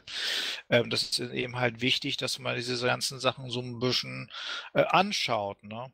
Und dann kann ich die jetzt vielleicht auch nochmal eben gerade ein bisschen überleiten in meinen Vortrag wieder zurück. Das kommt mich jetzt ganz gut auch zu Pass, das Thema Einstein und auch was wir jetzt eben gerade so ein bisschen besprochen haben. Das ist eben halt die Physik für die alternativen Energiekonvertierung. Und die finden wir bei einem Herrn Carter. Und da gibt es äh, zwei Bücher, die ich dort favorisiere. Das ist einmal die Ehrfurchtsgebieten der Lebenskraft, The Awesome Life Force. Äh, das ist von 1996. Und dann gibt es ein zweites Buch von ihm, auch von dem Carter, Die ultimative Realität, Teil 1 von 1999. In diesen beiden Büchern werden auch solche Dinge wie du sie bisschen mit angesprochen, also Wilhelm Reich und auch Ford und noch so ein paar andere Wissenschaftler kommen da drin zu, äh, werden vorgestellt, aber auch Tester natürlich, also der wirklich sehr honoriert ist und wie gesagt, Einstein ist so, ein, so ein Spökenkicker, so ein kleiner Blödmann, also um das mal so ein bisschen salopp daher zu sagen. Also auf dem Niveau wird er dort entsprechend gehandelt und auch gesehen von ihm. Und dieser Herr Carter, hatte seinerzeit das Problem oder die Ehre gehabt, für die Amerikaner eine Art Mondlandesystem zu bauen. Das kann man jetzt Mondlandung hin und her und tralala, egal. Es geht letztendlich darum, dass die Amerikaner nicht mit dem Zeug da auf den Mond runtergekommen sind oder gelandet sind, mit dem sie vorgegeben haben, gestartet zu sein. Also ich halte das für eine riesengroße Fake-Show. Weil Carter selber war der Ingenieur, der die Mondlandefähre gebaut hat. Und er selber hat ganz klar gesagt, ich habe dort einen Elektro-Antigravitationsantrieb eingebaut. Keine Probleme mit Van Allen-Gürtel, Strahlung, alles Geschichte. Ich habe einen elektromagnetischen Schutzschild, rotierender Art, ähnlich wie Merkaba-Technologie. Das kommen wir gleich wieder ein bisschen in deine Richtung. Und folgedessen war alles gut. Aber die Amerikaner haben gemauert und wollten eben halt der Welt nicht mitteilen, dass sie sich eben halt mit Flugschiffen Scheiben-Technologie eingedeckt haben, gerade aus dem letzten Krieg, und irgendwie Technologie dort assimiliert haben und für sich umgesetzt haben. Das heißt, sie haben dort Werner von Braunheim genommen, das kam ihnen ganz zu, und dann haben sie dort eben entsprechend dort diese Raketenshow abgezogen. Das ist so meine Meinung dazu. Aber letztendlich gab es noch ein anderes Buch von Gary Vassilatos. Das ist The Lost Science, die Komplett Edition. Und da geht es eben halt komplett um diese Texter-Technologien. Ist leider wieder in Englisch. Die anderen beiden Bücher sind in Deutsch. Hervorragend. Und das kann wirklich jeder lesen. Und die findet man auch zum Beispiel in vielewelten.at. Das ist so eine interessante Seite. Da sind sehr viele interessante Bücher, auch in PDF-Form. Kann ich nur jedem empfehlen, da mal vorbeizuschauen. Da findet jeder was. Versprochen. Wirklich jeder was, was ihn interessieren könnte. Nicht nur Raumenergie, auch andere Sachen, auch spirituelle Themen werden da auch behandelt. Sehr interessant für alle, sag ich. So, und die Raumenergiebewegung des Äthers, da hatte ich dann jetzt hier auf der Seite, wo sind wir jetzt hier auf der Seite 13, eine kleine Animation, die hatte ich in Mank auch gezeigt. Und das habe ich von jemandem übernommen. Das ist dann von einem äh, Physik-Skalar-Vektor-Pod von Rick Anderson. Skalarmathematik. Und da geht es jetzt auch um das, was wir eben schon so ein bisschen angesprochen haben. Der Raum ist nicht alle. Das kann man ganz klar sagen. Ansonsten hätte die Voyager-Sonde das Problem gehabt, ihre Funkbilder durch den leeren Raum zu funken zur Erde. Wo kein Medium ist, geht nichts durch. Also das ist völliger Quatsch, dass es dort nichts gäbe. Weil ansonsten hätte jedes Funksignal von einer Sonde nicht die Chance zur Erde zu kommen, weil wo ich nichts drin übertragen kann, gutes Beispiel, ich schmeiße einen Stein ins Wasser, sehe dann die Welle und ich schmeiße dann quasi von dem Satelliten eine Funkwelle raus durch den Äther und die Welle setzt sich in dem Äther fort und erreicht irgendwann die Erde. So, also wenn da nichts wäre, nichts ist, dann gäbe es auch keine Übertragung. Also von daher kann man auf, an dem Punkt bereits erkennen, dass die Energie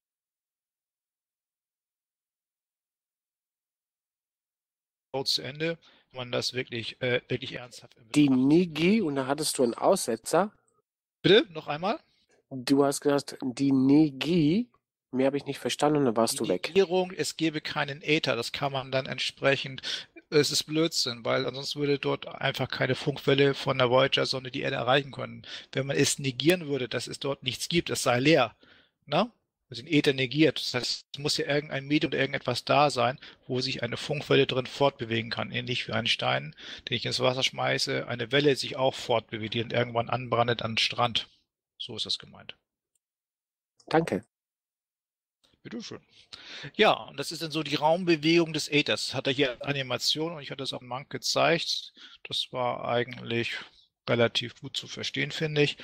Und es ist eben halt so, dass diese Konditionierung, das Einstein wurde eingesetzt, meiner Meinung nach, um eben halt verschiedene Leute wirklich gegen die Wand zu knallen zu lassen. Frei nach dem Motto, wir sperren die Leute in ein geistiges Gefängnis und schmeißen den Schlüssel weg. Und dann gucken wir, was passiert. Nämlich nichts. So, und jetzt geht es dann eher halt noch ein bisschen weiter in dieser ganzen Geschichte. Ich bin jetzt auf der Seite 14. Kalter elektrischer Stromkreis Teil 2. So, da habe ich dann jetzt mal so ein bisschen, um das ein bisschen weiter anzufüttern, aus was für Komponenten könnte denn so ein Konverter bestehen? Oder was könnte man denn da alles so brauchen? Um es mal ein bisschen praktischer, ein bisschen handhabbarer zu machen. So kann ich anfassen, kann ich begreifen. So ein bisschen aus der Kategorie. Ja, da habe ich jetzt einmal eine Hochspannungsröhre oder einen Halbleiter, der eben halt in der Lage ist, hohe Spannung schalten zu können, also eine Spannung zwischen 3 und 5000 Volt, dass ich die dann irgendwie an- und ausschalten kann, dass ich da irgendwie einen Schalter, dass ich das irgendwie hinkriegen kann. Also ein Hochspannungstravo brauche ich, die beiden bifilar gewickelten Flachspulen, wo ich dann auch einen hohen Isolationswiderstand zwischen den einzelnen Windungen habe. Es gibt einen Isolationslaktat, den hat irgendwie mein Kollege Großbritannien gefunden. Der hat eine Isolationsfestigkeit von 12.000 Volt von einer Windung zur anderen. Das ist unglaublich viel. Und das wäre natürlich eine super Möglichkeit, um Bauteile oder Hochspannungsbauteile auf Räume äh, kleiner dimensionieren zu können, ohne dass es dort Isolationsprobleme gibt. Also das wäre ganz wichtig, wenn man solche Geräte miniaturisieren möchte und irgendwie was erreichen möchte. Ansonsten wird das immer auf einer Schubkarre geschoben werden müssen. Das ist auf die Dauer ein bisschen unpraktisch. Ja, dann haben wir dort eben halt Kondensatoren. Das hatte ich vorhin schon mal so ein bisschen angedeutet, den Metall-Papier-Kondensator. Es gibt Glimmer-Kondensatoren. Also es gibt so viele verschiedene Kondensatoren. Die haben alle verschiedene Charakteristika. Also Kondensator ist noch lange kein Kondensator, bloß weil es ein Kondensator ist. Also da gibt es x verschiedene Ausführungen. Keramische, Elektrolyt und so weiter und so fort mit Glimmer. Und es gibt da die äh, mannigfaltigsten Ausführungen und auch entsprechenden äh, Elektrolyte drin und so weiter. Also das ist wirklich ein großes Thema und da ist auch noch viel Forschungsbedarf, um da weiterzukommen. Tesla hatte damals auch in seinen Patentschriften auch Becherkondensatoren aller Faraday gehabt. Er hatte ja dort 200 Liter Tonnen gehabt, gefüllt mit Salzwasser wo dann wirklich die Leute dort diese Ölfässer auf Gerüste so rauf und runter gestellt haben und eingedockt haben.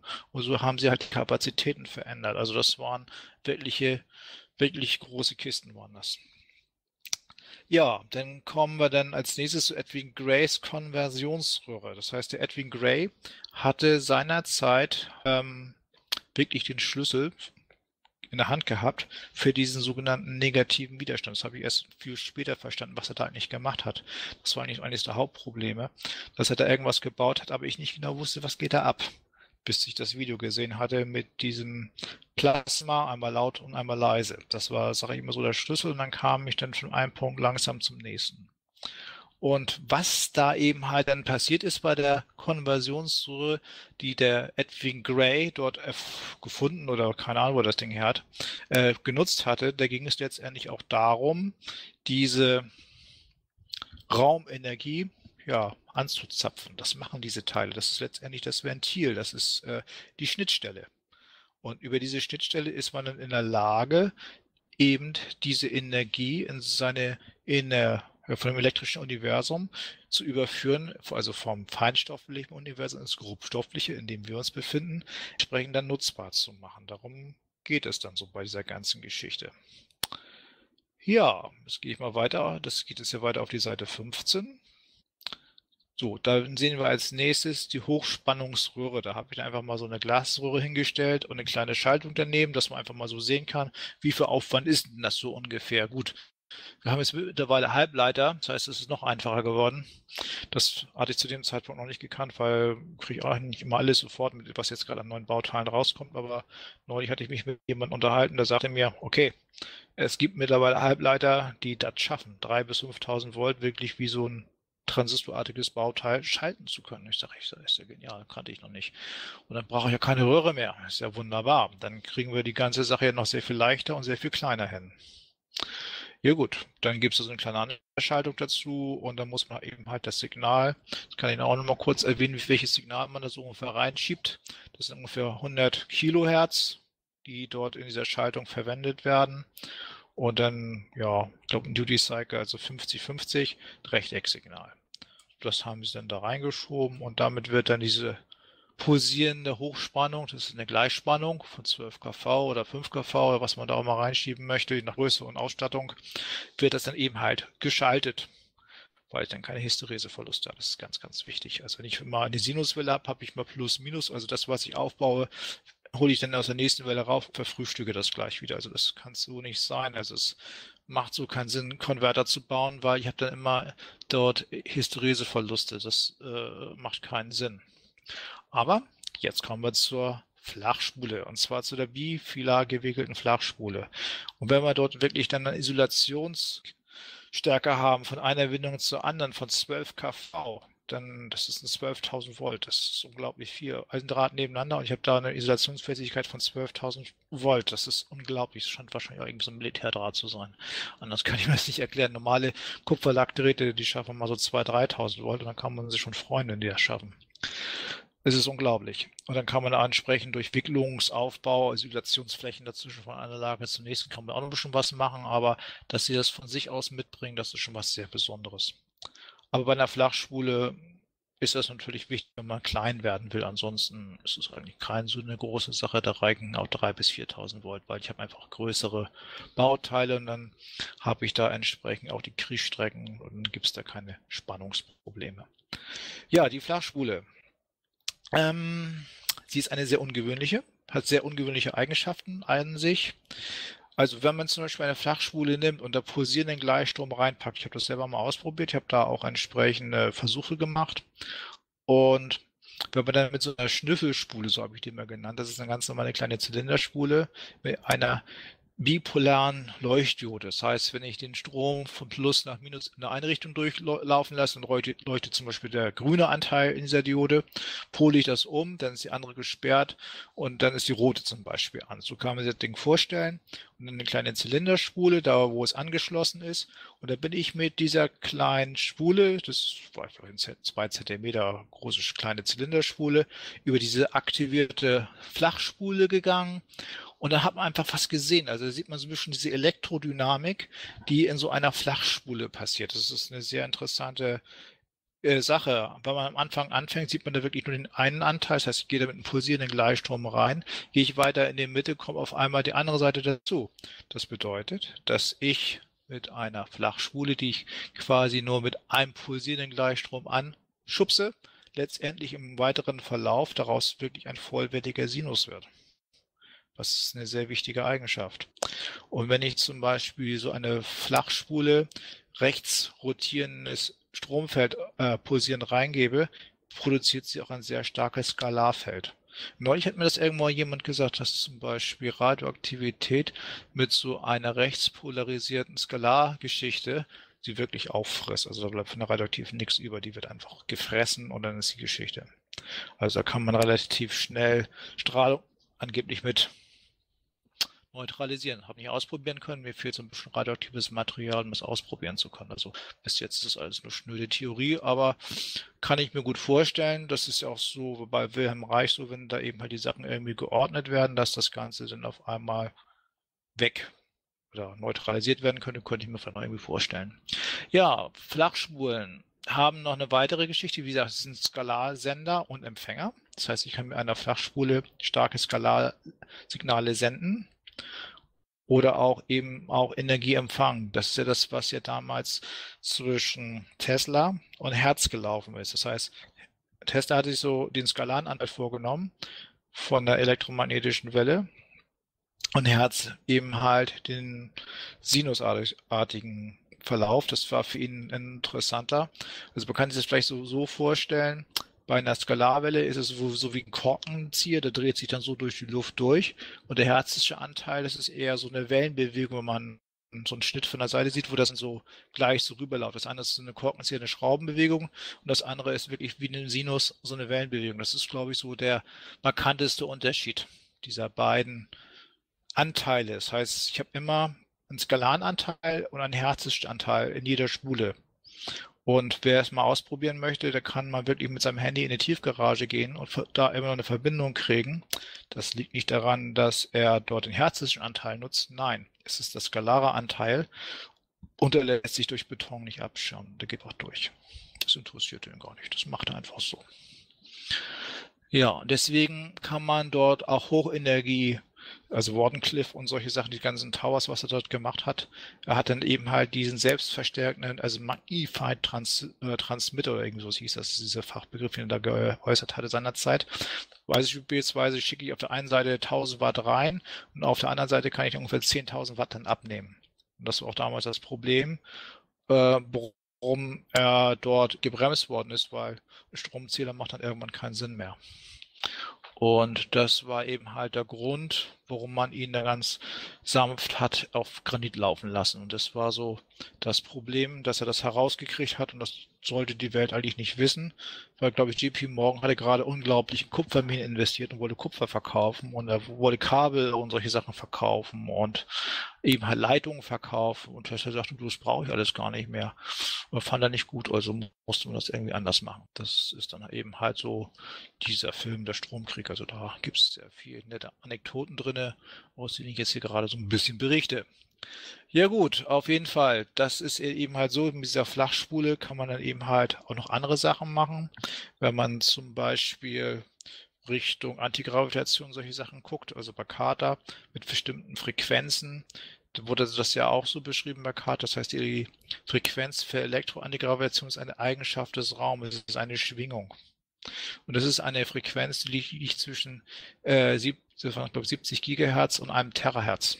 Das ist so die Schwingung, das ist so unterm Radar und über den ultravioletten Bereich so. Das ist so ein Fenster ist da. Und wenn man eben halt dort diese Schwingung aktiviert, setzt dann eben halt dieser Verdrängungseffekt ein und die Schwerkraft verliert dann quasi den Einfluss auf jeglichen physikalischen Gegenstand. Das kann man sich bei John Hutchison anschauen.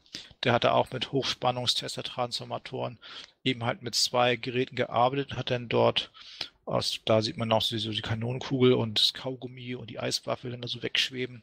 Und er sollte irgendwie mit zwei großen Tesla-Transformatoren gearbeitet haben, also Tesla-Travos, die er ausgerichtet hat und dann eben halt eine ja, Kreuzpunkt, Triangulation oder irgend sowas gemacht hat, wo dann eben halt auf den Körper zwei unterschiedliche Tesla Hochspannungsfrequenzen gewirkt haben und dann wurde eben halt das, die Kraft, die eben halt für die Gravitation sorgt, verdrängt, ausgekoppelt und so, deswegen sollten diese Teile levitiert haben. Das ist, glaube ich, so die Kurzfassung von dem, was da irgendwie passieren soll.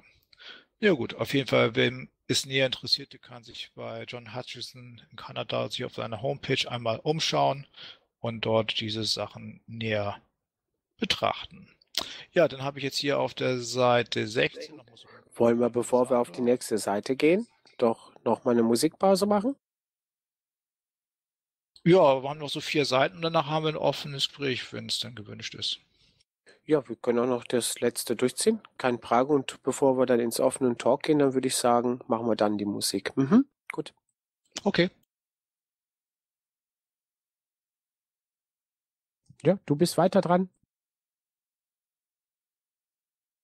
Ach so, ich dachte, ich gibt es Musik. Okay, ich dachte, ich habe das so verstanden. Na gut, ist in Ordnung. Ich weiter. Gut, es gibt auch eben halt die Kondensatortypen. Hochspannungskondensatoren hatte ich jetzt hier auch so gehabt. Da sieht man jetzt mal so ein Bild von so einem Teil. Das sind relativ große Bauteile, auch physikalisch. Und neue Werkstoffe und äh, Möglichkeiten ermöglichen auch dort möglicherweise eine Miniaturisierung, wenn man das nachher näher verstanden hat, den Prozess, worauf es dann wirklich ankommt. Bis jetzt haben wir dann wirklich so ein bisschen diese Beginnerphase. Bei uns fehlen 150 Jahre Know-how und das macht man nicht über Nacht weg. Ja, auf der Seite 18, da sehen wir jetzt, was ich auch in Mons gezeigt habe, Edwin Grays Konversionssource. Das heißt, ist dort der Aufbau gezeigt, wie er diese spezielle Röhre, könnte man schon fast sagen, aufgebaut ist und was man machen muss, um dort dieses Tor zu öffnen, wenn man das so sagen darf, um in den elektrischen äh, universellen Energiekreislauf sich eindocken oder ankoppeln zu dürfen. Da ist auf der einen Seite eben halt nochmal dieses äh, Feld zu sehen, was ich dort entsprechend von dem Andersen da seinerzeit gefunden hatte auf der Homepage, wo dann eben halt so diese Raumbewegung, das kann man sich so vorstellen, wie so eine wellenartiges Umklappen, was eben halt diesen Äther äh, wie eine Wasserwelle am Meer entsprechend durchläuft, diese energetische Welle, kann man sich vielleicht so ein bisschen vorstellen. Man kennt ja die Wellenkraftwerke am Meer. Diese Kraftwerke nutzen ja die, die, das, das, das Delta des Wellenhubs auf und aus und bringen dadurch ja eben halt dort eine kinetische Energie zur Wirkung, wo dann eben halt Luft durch eine Turbine, an, Turbine anschließend geblasen wird. Das kann man sich vorstellen wie so ein Blasebalg, wo dann eben halt der Blasebalg, den muss ich nicht mit dem Fuß drücken, sondern das machen die Wellen. Und dann wird dort eben halt die Luft modelliert und das wird durch eine Turbine gejagt und diese Turbine macht daraus aus über den Generalstrom. Das ist jetzt so mal das andere Bild. Das, das ist das Mechanische. Aber für jedes mechanische Bild gibt es ja auch immer eine entsprechend feinstoffliche Art oder elektronische Art. Das ist nur vom einem, was man kennt, dann rüberkommt in dieses Verstehen auf der anderen Seite. Und der Äther tut dieses auch. Und dieses Reinströmen, wenn ich jetzt eben halt dort diesen Druck rausnehme, wenn ich dort den Strom verändere, ist es eben halt möglich, dass ich eben halt durch dieses Plasma dort ähm, diese Wellenbewegung des Äthers mit einfließen lasse. Und so bekomme ich dann eben halt den Fluss von der feinstofflichen Elektrizität runter in meinen grobstofflichen Elektrizitätskreis. Das ist so das, was so diese Röhren hier so anstellen. Und diese Röhre ist im Wesentlichen aus mehreren Rohren aufgebaut, wenn man da so drauf schaut. Wir haben ein Außenrohr mit einer Innenkante und innen drin zwei Röhren ineinander und in der Mitte eine Funkenstrecke wieder mit einem Kohlewiderstand. Das bedeutet, um diesen feinen Stromfluss, den ich dort durch die Pulsweitenmodulation zum Beispiel mache, das ist nicht viel, das ist ein Bruchteil, muss ich den Strom über diesen Kohleschichtwiderstand, der vor der Funkenstrecke liegt, entsprechend so hoch haben, den Widerstand, dass ich es einstellen kann, dass ich das modellieren kann, dass ich dort diese, diesen feinen Fluss einfangen kann und den entsprechend dann in den grobstofflichen kalten Stromkreis nach äh, Peter Lindemann entsprechend dort meiner ja, Übertragungsstrecke der Nutzung der Elektrizität dann zuführen kann, was dann auch immer mit passieren soll.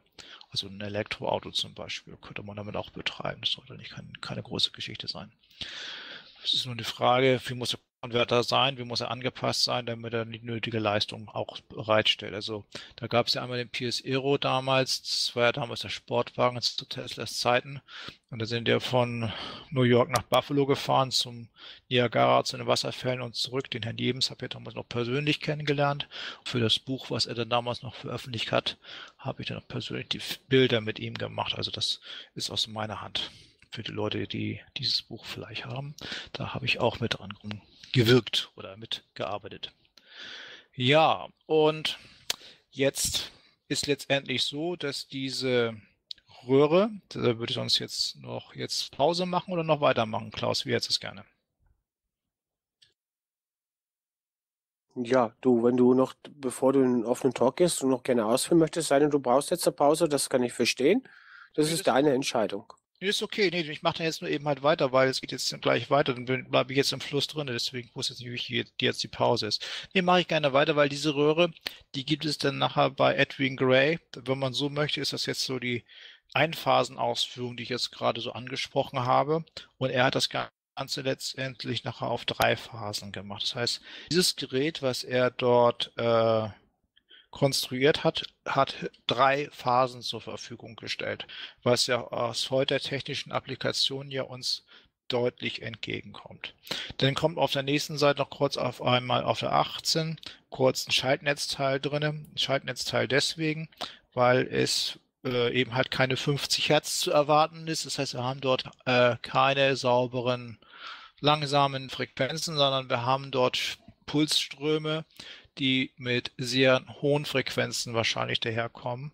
Und deswegen ist ein elektronisches Schaltnetzteil dort die bessere Wahl, weil der technische Wechselstrom im Normalfall dort sowieso zu Gleichstrom ummodelliert wird durch Brückengleichrichter und der Siebstufe, ist es auch hier eine schlaue Überlegung, weil das wird ja sowieso irgendwie ein Kauderwelsch da einkommt und das kann ich dann entsprechend über den Brückengleichrichter und der Siebstufe stabilisieren und kann dann dort meinen technischen Gleichstrom, wie ich ihn brauche, für meine elektronische Schaltung dann zur Verfügung stellen.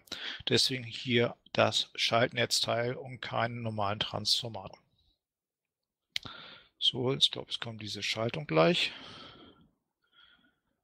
Ja, es kommen noch mal so ein paar Bauteile sich jetzt gerade so wie Funkenstrecke, wie sieht eine Funkenstrecke aus, da gibt es noch Magneten drauf. Also das ist dann wirklich für Leute, die noch nicht so viel Ahnung haben, dass sie sich einfach mal sich sowas angucken können. Das ist dann dort zu sehen auf der Seite 20 von 22. Und jetzt gehe ich nochmal eben ein weiter. Genau.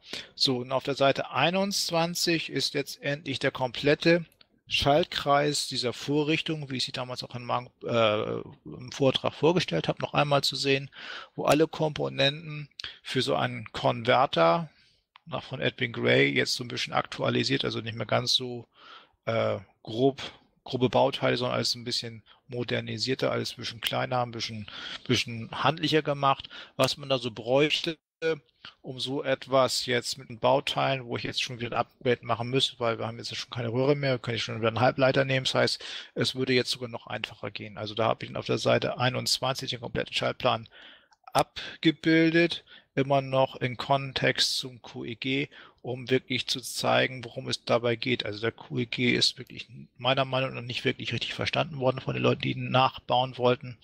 Und ich denke mal hier an dieser Stelle, die Leute sollten noch mal drauf schauen. Vielleicht haben sie es dann einfacher. Entweder bauen sie sich gleich einen Rotorwärter oder sie lassen das ganze mechanische bleiben und machen es gleich elektronisch. Das würde wahrscheinlich auch einfacher sein und man hebt sich auch keinen Bruch, weil die Maschinen werden deutlich kleiner und leichter. Ja, so, es geht nochmal auf die letzte Seite. Was haben wir da noch? Auf der Seite 22. Ja, da habe ich jetzt zum Schluss nochmal die Verschaltung von Edwin Gray, also diesen Motorgenerator, diesen E-Motor, was er dort gehabt hatte. Das ist so diese Drei-Phasen-Ausführung. Da sieht man zum Schluss noch einmal, wie es eben halt sein müsste, wenn man wirklich technisch drei Phasen wollte. Das wird dann dort entsprechend auch so ein bisschen skizziert, wie dieses System aufgebaut sein müsste. Statt jetzt mit einer Röhre hat man nachher drei drinne und auf 120 Grad versetzt so eine, so eine Schaltscheibe, wo dann eben entsprechend diese technischen Bedingungen erzeugt werden über Dioden und Kondensatorstufen nachher im Stromkreis, um das dann entsprechend für unsere Systeme, wie wir sie heute brauchen, entsprechend anzupassen. Das ist dann auf der Seite 22 drauf, wäre dann die Drehstromausführung von Edwin Grays Erfindung, die er dort gemacht hat. Und wenn dann die Leute Interesse haben, sich da irgendwie ein bisschen reinzudenken, können sie gerne auf uns zukommen oder auch auf mich, je nachdem, wie wir das nach Hand haben wollen. Und jetzt bin ich jetzt erstmal mit dem Vortrag soweit durch und können jetzt eine Musik machen und danach können wir noch ein bisschen reden.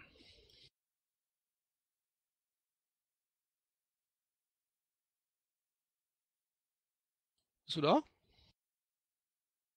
Ich bin da. Was war deine Frage? Wir können jetzt eine Pause machen. ja, ist gerade bin ich gestört worden und dann hast, bist du fertig mit der Ausführung. Das ist live hier auf OK Talk. Ja, machen wir jetzt eine Musikpause und dann gehen wir in den offenen Talk. Und ich habe jetzt den Song extra ausgesucht, Berufung. Denn es geht hier heute um Technik und es gibt verschiedene Menschen, die verschiedene Berufungen haben. Und Seum ist einer, der sehr gut darüber singt. Und ich sag mal, Seum, Musik ab, Patrick Kamera. Schön, dass es dich gibt. Ja, und da sind wir wieder zurück. Ja, die Berufung. Auch Nikola Tesla hatte seine Berufung. Und heute ist der Geist irgendwie hier auf OK Talk mit Matthias van Taden und euch natürlich. Ihr habt noch Zeit anzurufen. Das letzte Drittel, sage ich jetzt mal, der Sendung hat gestartet. Telefon für Österreich 0043. Das ist das Festnetztelefon aus Österreich. Dann geht's weiter mit 720 51819 und die 7. Ja, und Matthias, eröffnen wir doch mal den Talk. Wir werden mal die User hier alle mal raufziehen. Und ich werde sie auch alle gleich begrüßen. Auch der Bleistift ist bei uns. Der Jack ist bei uns. Die Pia ist da. Pia als erstes natürlich. Pia. Und ich begrüße hier in dieser Runde den Thomas, Bleistift, Elvira, Hans Gruber, Jack, Jenne, CryptoTV, Marc Wahle, Pia und der Robert. Und Pia, du hast als erstes geleuchtet und ich gebe dir das Mikrofon. Lieben Dank, das war sehr spannend. Allerdings bin ich nur eine Nutzerin, nicht die Technikerin. Deswegen habe ich da noch eine Frage. Lieber Matthias, du hast so schön vom praktischen her gesagt, dass Radioaktivität neutralisiert werden kann. Wie ist es jetzt mit der neu kommenden Strahlentechnologie äh, als Strahlenschutz vor beispielsweise der 5G, dem Wi-Fi, dem Mind Control, den Mikrowellen. Hast du da etwas bereit? Naja, ich habe da eine hübsche Idee. Letztendlich ist dort der Wardenclyffe Tower von Tesla eine mögliche Antwort. Letztendlich ist es so, dass wir dort ein Spektrum von Frequenzen haben. Das kann man sich so vorstellen, wenn man sich die Frequenzparameter von x Hertz bis sonst wo anschaut, steht an jedem Punkt quasi ein kleiner Zwerg mit einer kleinen Trommel. Und die trommeln alle gleichzeitig. Und wenn ich jetzt dort auf einem Frequenzband dort nur etwas sende, habe ich die Möglichkeit, wenn ich so einen Wardenclyffe Tower habe, weil da trommeln alle Zwerge, Milliarden von Zwergen, alle gleichzeitig. Und dadurch wäre es vorstellbar, dass es einen Verdrängungseffekt gibt. Skalarwellen hatte ich vorhin schon einmal erwähnt und den herzischen Anteil.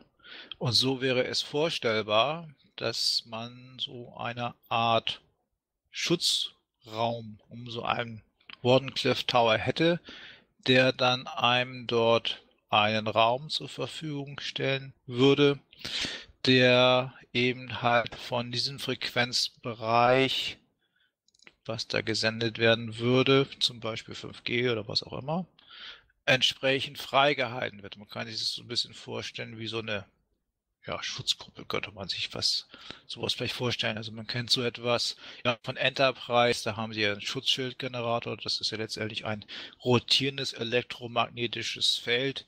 Da wurde ja ab und zu ja auch immer gesagt, okay, wir müssen mal die Frequenz modellieren vom Schutzfeld und so weiter, dass da keiner so richtig durchkommt und so weiter und so fort. Letztendlich ist es das, was genau betrachtet. Und es wäre natürlich auch vorstellbar, wenn man dort eben halt entsprechende Geometrien von Spulen. Da muss man sich natürlich ein bisschen über Spulengeometrien äh, anschauen. Wie sieht eine Flachspule zum Beispiel aus? Die baut ein torusartiges Feld auf. Und wenn man da eben halt ein breites Spektrum durch diese Flachspule senden würde, wo ja jedes Signal zu einem super sauberen technischen Sinus umgewandelt würde, würde dort von einer Stelle, das kann man sich vielleicht so ein bisschen vorstellen, als wenn man mit einer ja, Maschinengewehr quasi über einen Punkt ins Wasser schießen würde. Und es würden sehr, sehr viele Wellen um diesen Bereich herum passieren. Und alles, was von außen angeschwappt käme, wenn man von außen dann drum irgendwelche anderen Steine reinschmeißen würde in diesem Bild, würden diese Wellen, die diese Steine im Wasser auslösen, gar nicht mehr zu diesem Zentrum, weil eben halt dort die Frequenzen oder der Äther oder was da eben gerade schwingt, schon mit was anderem schwingt und deswegen nicht mehr erreicht werden kann. Also so könnte man das sich vielleicht vorstellen.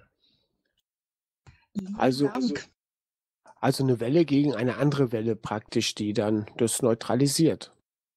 Ja, das kennt man ja auch von Schall oder Antischall. Es gibt ja Soundabsorber-Systeme, die eben halt die eben halt den Schall, den man nicht haben will, durch eine Antischallschaltung, das heißt, wird in Phasen gerecht um 180 Grad gedreht und zeitgleich zurückgesetzt.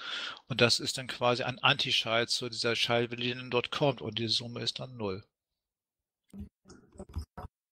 Ja, der Marc flackert. Wer möchte denn hier in der Runde noch was sagen? Mal kurz flackern mit dem Mikrofon. Gut, dann gebe ich dem Marc das Mikrofon. Marc, guten Abend nochmal. Ja, guten Abend nochmal. Also, wie beginnt man eine Werkzeug, äh, äh, Werkstoffkiste im, am Balkon? Mit was für einem Motor beginne ich? Wie soll ich sagen?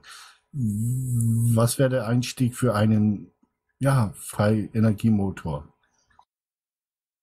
Also der John Bedini hat äh, sehr schöne kleine Experimente bereitgestellt und also Bedini wäre, glaube ich, eine schöne Sache. Das sind solche kleinen, es gibt auch irgendwie so ein Mädchenteil, hätte ich fast gesagt, Entschuldigung, aber das war irgendwie spezieller Bausatz. Das war vor einem 16-jährigen Mädchen, wurde dieser freie Energiekonverter gebaut nach so einer Bedini-Anleitung. Da hat er irgendwie so Schaltbedini oder irgendwie so so ein, von so einem Mädchen aus. Ich kriege den Namen gerade nicht mehr ganz so zusammen, so sinngemäß.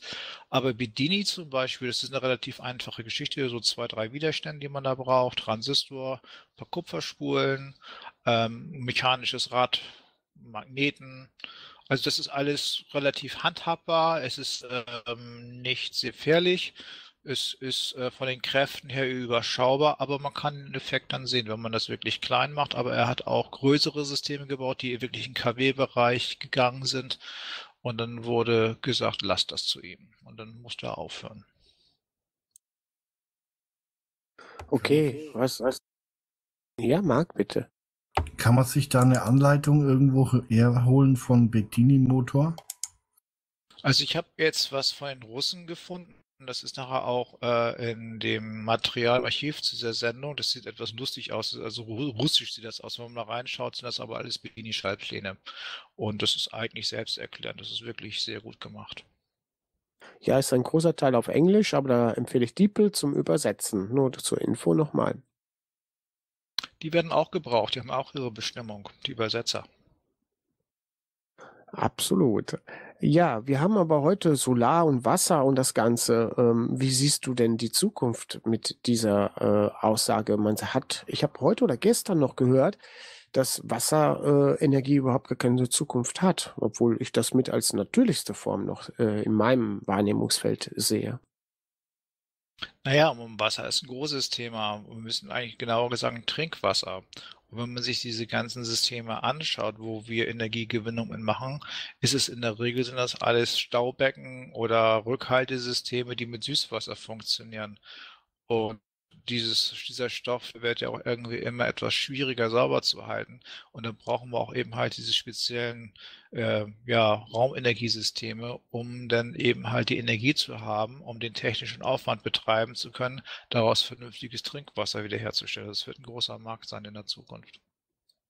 Ja, Salzwasser wird ja auch genutzt, du, so Gezeitenkraftwerke, ist ständig Strömung.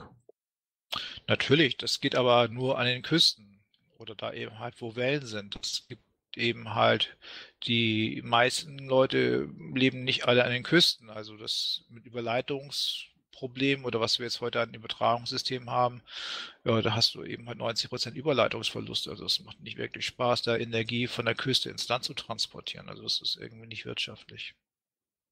Ja, das mag schon richtig sein. Ich bin ja auch nicht der Fachmann, jedoch könnte man die Küstenstädte sicher damit versorgen, vermute ich. Ähm, in Sachen Windkraft, da sind die Meinungen ziemlich gespalten. Die machen ja Ultraschall, ne, so Schallwellen, die überhaupt nicht gut sein sollten und vor allem auch Insekten sterben. Äh, was spricht für dich für Windkraft? Gibt es da ein Argument? Also ich wollte eben noch kurz zum letzten was sagen, zum Wasser. Also wenn wir die ganzen Wellenkraftwerke dort wirklich an die Strände bauen, dann haben wir keinen Tourismus mehr. Also das ist erstmal so nebenbei. Aber es gibt auch entsprechende Schlangen, die man dann mit Hydraulik aufs Wasser legen kann. Das geht auch solche Experimente dazu. Da wurden Systeme gebaut, die dann eben halt die Wellenbewegung mit Hydraulik stempeln, in Druckzylinder speichern. Und diese Druckzylinder wird dann eben entsprechend äh, über einen Wandler entsprechend auf den Generator gegeben hat und dieser Generator dreht dann. So, das noch eben dazu. Also Windkraft ist äh, hochproblematisch, das ist richtig. Also die Insekten, die Vögel, die sterben. Dann haben wir dort einmal Infraschall, das ist diese eine Geschichte. Das heißt, jede, jedes Lauf hat aufgrund seiner Größe hat eben halt auch entsprechend äh, eine sinusartige Welle, die er abstrahlt, die sehr tief frequentiert ist und dann spricht man von Infraschall. Und Infraschall ist eben halt der Frequenzbereich von 0 Hertz bis 20 Hertz. Das ist so dieser tiefere Bereich. Und es gab auch militärische Projekte, das wurde von Amerikanern gemacht, die hießen Infraschallkanonen. Und das war auch, was ein Pottwal gehabt hat, der hat auch eben halt auch ein Organ drinne, wo dann auch Frequenzen von 0 bis 2 Hertz erzeugen, Pottwal. Und damit ähm, hat er eben halt seine Beute, entsprechend ja, paralysiert, kann man sagen. Und dann wurde der Krake gefressen. Also Infraschall ist äh, nicht harmlos in keiner Weise.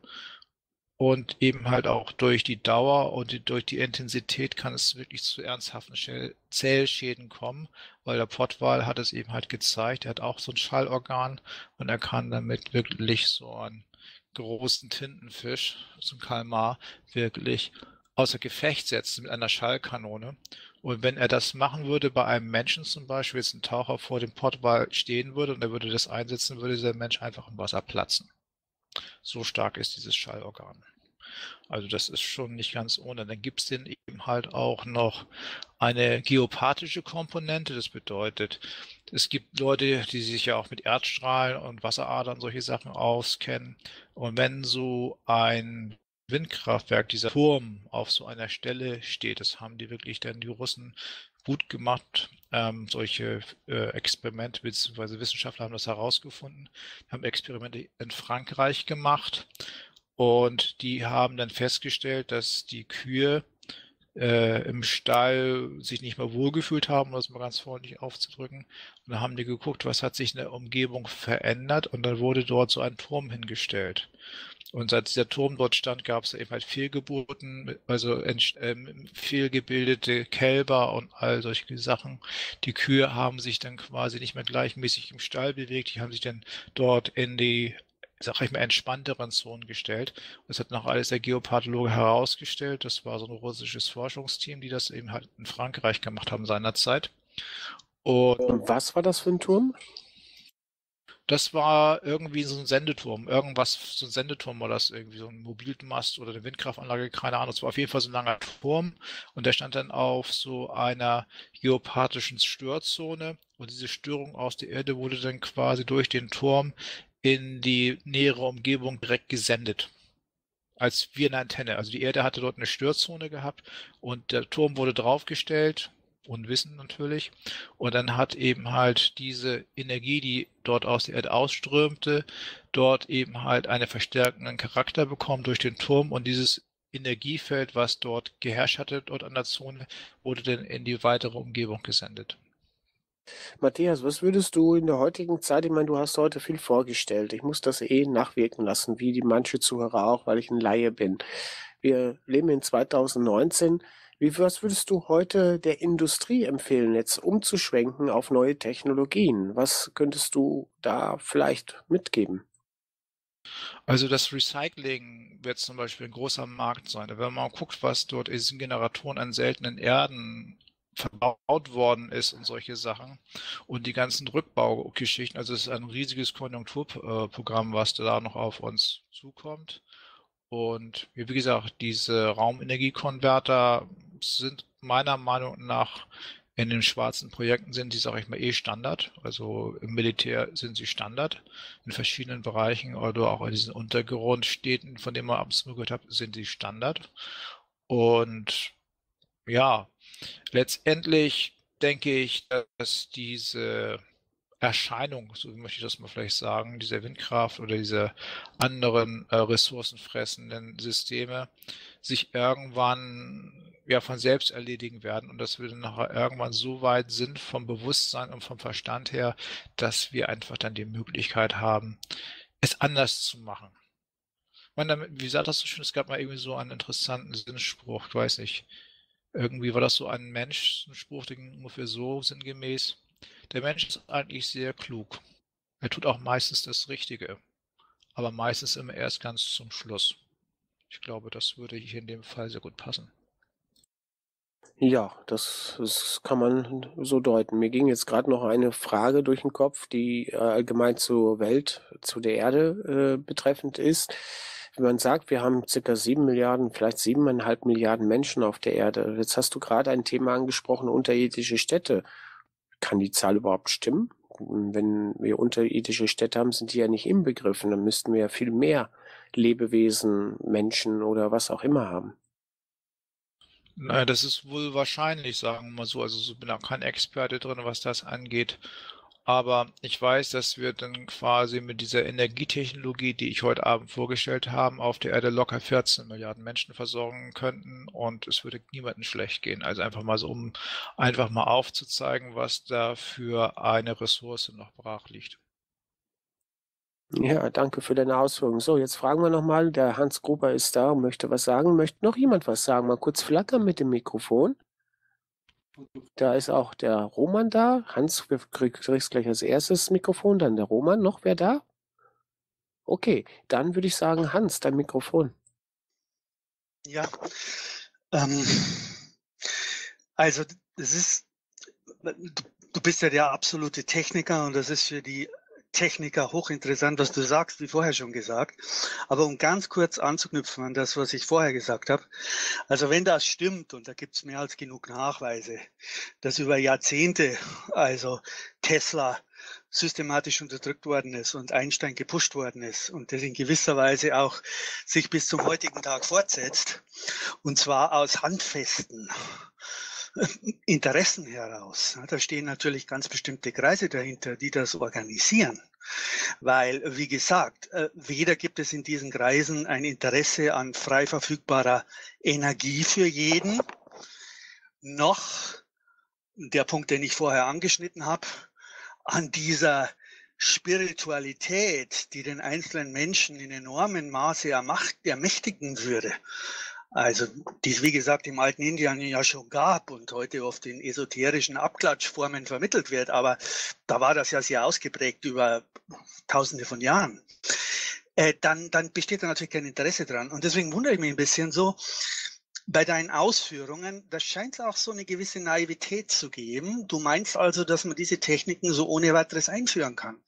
Ich meine, du hast mir ja vorher zugestimmt, dass es da äh, so war, wie ich das zusammengefasst habe. Und wie gesagt, da gibt es Experten dazu, die da wesentlich mehr dazu sagen können wie ich. Äh, ja, äh, ich meine, mit den Kreisen hat man auch heute zu tun. Die stehen auch hinter äh, einer Reihe von weiteren Zerstörungen, ob das jetzt lügenbasierte Kriege sind, ob das das Geoengineering sind und, und, und. Also da würde mich mal deine Antwort interessieren. Gebe ich doch sehr gerne. Also ich weiß darum, also es ist nicht naiv. Ich weiß nur, dass diese ganzen ähm, Ego-Shooter aus der Vergangenheit in diesen Bereichen alle gescheitert sind. Wenn dieses Wissen, was ich heute Abend zum Teil, was ist wirklich sehr elementares Wissen, wenn das allgemein eine Verbreitung ist, das heißt, dass jeder Nobody, der eben halt kein Techniker ist und weiter und so fort, weiß, was zu tun wäre, was er machen müsste, dann ist der Geist aus der Flasche. So, das ist das eine. Das andere ist, letztendlich äh, stehen wir jetzt ja auch an einer, wo auch stärkere Veränderungen angedeutet sind aus verschiedenen Sichten, Johannes Offenbarung, Bibel bis sonst wohin. Da sind eben halt Veränderungen angezeigt und das ist jetzt auch Armin Risi zum Beispiel, Machtwechsel auf der Erde und was es da alles für Autoren gibt, die da schon entsprechend Hinweise gegeben haben, dass wir eben halt an einem Wendepunkt jetzt uns befinden. Also nicht mit A-Umlaut, sondern mit E. Und dass das Ganze jetzt doch irgendwie in einen Bereich über, rübergeführt wird, wo eben halt diese Öffnung oder auch diese neue Sicht der Dinge die eben halt uns vorenthalten worden sind, die verborgen liegen, jetzt langsam zurückkommen dürfen und dass sie jetzt wieder allgemein gut werden. Früher gab es zum Beispiel das esoterische und das exoterische Wissen, das war allgemein gut. Und das esoterische Wissen ist mittlerweile Geheimwissen geworden. Und das exoterische Wissen, das kann jeder sich mehr oder weniger in Stufen heute aneignen. Das sind eben halt so diese Sphären oder diese Bereiche der Wissensebenen.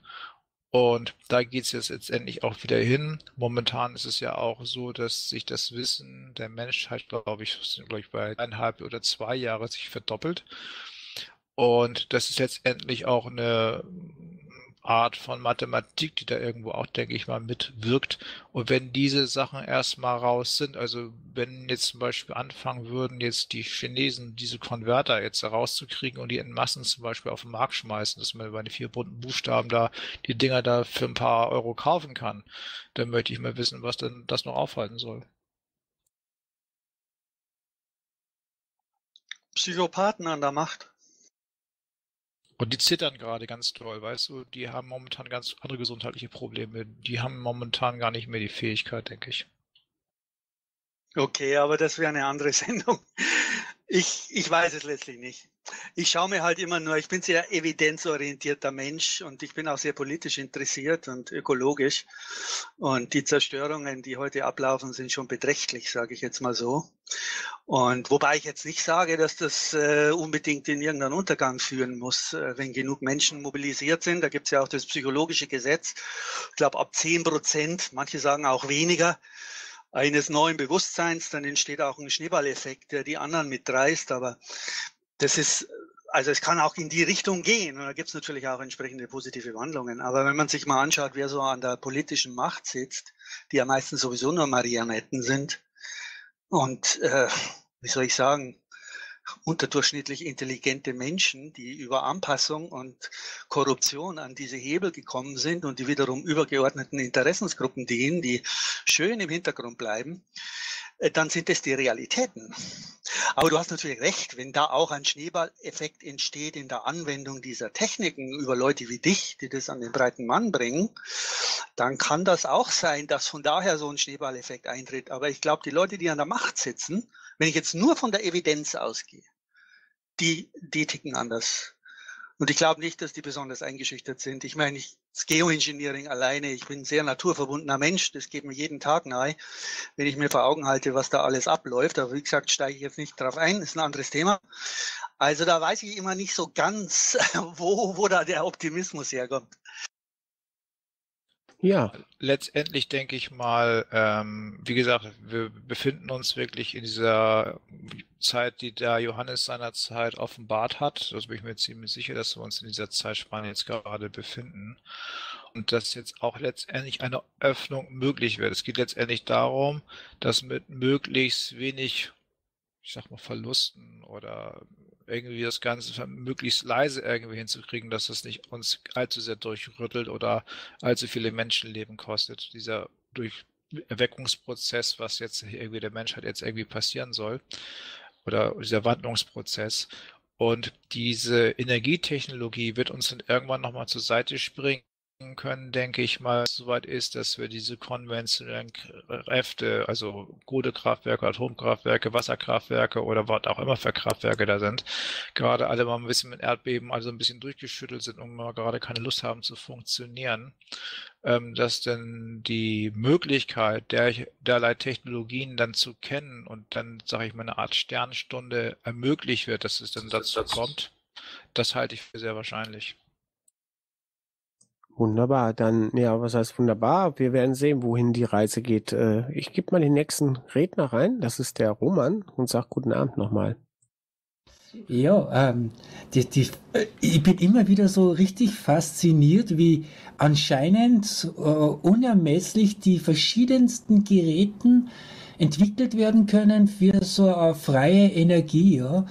Äh, von Magnet, von Wasser, allerlei. Es ist das sieht man schon wieder mal, wie unermesslich die Energie, so viele Maschinen gibt's eben auch. Aber was mich auch so, mm, ist gerade so immer gefragt habe, äh, man, man sagt ja, äh, mm, wenn man ganz, wenn man großes Gebiet von der Sahara mit äh, äh, Solarenergie ausstattet, könnte man ja die ganze Welt versorgen, wenn das äh, Übertragungsproblem vom Strom äh, äh, nicht so ein Problem wäre. Natürlich mal abgesehen von den seltenen Erden von Solarenergie. Ich will gar nicht auf die Solarenergie hin, sondern eben auf das Thema äh, Übertragung von Stromleistung. Wie, man, Tesla hat es ja natürlich auch äh, über ähm, die Atmosphäre gesendet, drahtlos und sicher auch verlustfrei. Äh, wie weit sind wir eigentlich noch entfernt von hundertprozentigen verlustfreier Übertragung? Wird es das überhaupt jemals geben? Äh, äh, wenn man mal so von konventioneller Stromleistung mal hergeht. Ich denke jetzt einmal, solange wir jetzt die Maschine nicht kriegen, wie weit können wir uns wenigstens dahin entwickeln?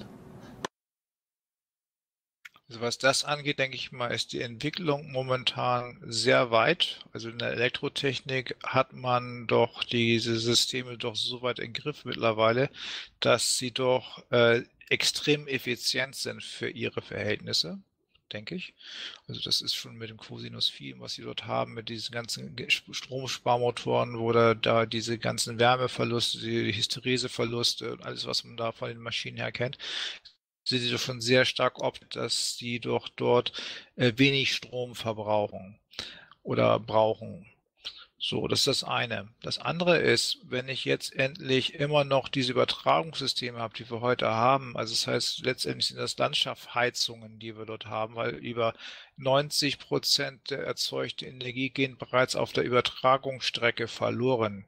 Das kannst du dir mal überlegen, wie viel Petawatt Energie jedes Jahr produziert werden und damit äh, äh, nur 10 letztendlich in der Steckdose ankommen und dann hast du dann noch da die Verluste an deinen Geräten, die arbeiten ja auch nicht mit 100 Prozent. Ähm, das ist eine Rechnung oder ein derartiges Trauerspiel, äh, da wird einem ganz schlecht. Interessanter wird es dann, wenn wir wirklich sagen, okay, wir sparen uns das Ganze so ein bisschen, wir nutzen diese Rohstoffe und die Ressourcen, die wir dort reingesteckt haben, für andere Technologien. Das heißt, wir modeln das Ganze ein bisschen um und schließen uns an das Räderwerk der Natur, an das, was Tesla damals gesagt hat. Und ähm, können uns dann andere Technologie, andere Formen von Flugzeugen oder auch andere Fahr Fahrzeuge oder auch andere Sachen. Wir haben dann so viel Rohstoffe, die gibt es ja auch nicht unendlich viel auf der Erde. Hallo? Das heißt, wir können mal nicht mal irgendwo mal so schnell hindern, Asteroidengürtel, dann ein bisschen Bergbau machen und so weiter und so fort. Mit der Technologie, die wir jetzt haben, da kann man noch nicht mehr drüber nachdenken offiziell. Also wir haben ja schon mal das Problem, äh, einmal irgendwie am Mond zu kommen, geschweige irgendwie einen Ort zu verlassen, beziehungsweise von Elngürtel da irgendwie durchzukommen, ohne getoastet zu werden mit dieser komischen Raketentechnik. Ich habe ja keine Schutzschildtechnologien offiziell. Also, ähm, sorry, also das ist alles, äh, wie sagt man so schön, wir könnten natürlich auch einen Ausschuss oder eine Gruppe bilden, die herausfindet, wie gut oder wie schlecht man ein totes Pferd reiten kann glaube, ich denke mal, das wäre, glaube ich, so eine ganz gute, ganz guter Vergleich dafür. Ja, genau, das tote Pferd und so. Das erinnert mich jetzt auch an die ganze Elektrosmog-Belastung bei den Oberleitungen und so. Ist das nur aus reinen Kostengründen so gemacht worden, dass man das nicht eigentlich vergräbt, die Leitungen? Weil das ja einfach auch für die ganze äh, Umgebung auch viel verträglicher wäre, wenn die Erdschicht da einen kleinen äh, Abdeckungsschutz ja leisten würde. Ja, du bist ja noch ein bisschen in der alten Technologie verhaftet, kann ich verstehen, ist okay. Nein, ich bin ich überhaupt nicht. Aber äh, mich interessiert auch trotzdem zugleich immer auch das Gegenwärtige, warum der Mensch so handelt. Weil er es so gewohnt ist. Der Mensch ist Gewohnheitstier. Das hat er seit Jahrzehnten und seit Jahrhunderten macht das so, weil damals eben halt jemand eine Kupfermine besessen hat und Kupfer verkaufen möchte und damit die Kabel. Ganz einfach. Das sind wirtschaftliche Bedingungen. Ja, einfach die Gier und die Verbrecherbereitschaft dieser Konzerne. Ist, ja, blöde Frage von mir. Äh, sagen wir nicht unbedingt Verbrecher, sie nutzen nur ihre Möglichkeiten. Wenn man eben halt nicht darauf achtet, dass es noch andere Möglichkeiten gibt, dann nutzen sie ihre Möglichkeiten. Das ist eigentlich opportun, ne? Naja, Verbrechen, Verbrechen ist etwas, wenn man was kaputt macht. Äh, wie auch immer. Ja, wir haben aber auch heute gehört, dass wir unterschiedliche Klassen von Menschen anscheinend haben. Ne? Einfach das normale Leben, wie wir es kennen auf dieser Erde und das Militär, was sich in der Technologie ganz abgeschottet hat.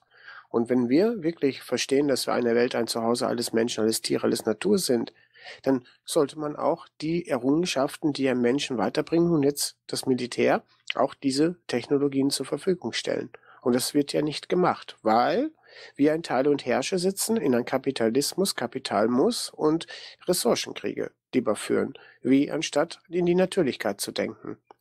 Ja, das ist der Dolchstoß für die Menschen, es sei denn, wie der Hans Gruber gesagt hat, die 10 Prozent. Ne? Die kritische Masse sagt man bei 3 Prozent, gehen wir ruhig von 10 Prozent aus. Dann könnte sich was Neues kristallisieren, so denke ich. Ja, und Leute haben ein Hauptproblem. Wohin sollen, wollen sie dann laufen, wenn sie nicht mehr wissen, in welche Richtung? Ja, sicherlich. Das ist ja die Problematik der Zeit der Verwirrung und äh, Überflutung und das ist ja auch gewollt. Das sind ja diese Programme vom Kapitalismus und ja, Machterhalt und ja, das sind Programme, so denke ich. Die Menschen haben ja leider ihre Oasen, ihre Inseln, die was über uns drunter nach unten schauen. Die, die, die haben ja mit dem einen Strahlung, äh, schlechte Umgebung ja gar nichts zu tun in ihrem eigenen Leben. Der Marc wollte sich einbringen. Marc, bitte. Weil er die Offenbarung angesprochen hat, ne, des Johannes. Da war ich auch zwei Wochen im Kloster. Die haben ja dann den kleinen Kaligismus gezeigt oder den großen aus Rom, halt die Vorgaben. Also ich habe das so wahrgenommen wie links im Chat in dieser Grafik. Da geht es darum, 2010 gab es einen kurzen Krieg bis 2018. Da ist eine Grafik, Moment. Also im Chat kommende Jahre und das war 2018 vorbei. Da haben sie, äh, 2012 habe ich eine große Trübsal festgestellt bei 100 Interviews und diese Informationsfluten, ne, diese Verwirrung, und das war halt wie Krieg. Und äh, bis 2018, dann haben sie einig wieder anerkannt als Wort im großen Stil. Und 2019 jetzt gibt's das, diese geheime Rune, das verlorene Symbol von Dan Brown, wieder im Internet. Ich nenne es Triangular. Das ist die Pyramide mit weggehenden Strahlen, mit zwei weggehenden Stäben. Und wir haben im Pazifik eine graue Weltfahne eine Landesfahne in Grau und die gab es noch nie. Und es gibt die Sage, gibt es eine graue Weltfahne, vergeht diese Welt nicht mehr. Ja, solange sie auf dem Pazifik weht und nicht hier bei uns, äh, ja, die Fahne ist auch ganz schnell weg. Das ist in der Einfachheit wieder die Lösung zu sehen. Aber ich verstehe schon, was du sagen möchtest. Ja, gibt's weitere Fragen oder Matthias, möchtest du was noch dazu sagen? Ja, also im Moment habe ich jetzt erstmal, denke ich, genug. Also ich denke mal, es war jetzt so viel Stoff, was da jetzt durchgegangen ist.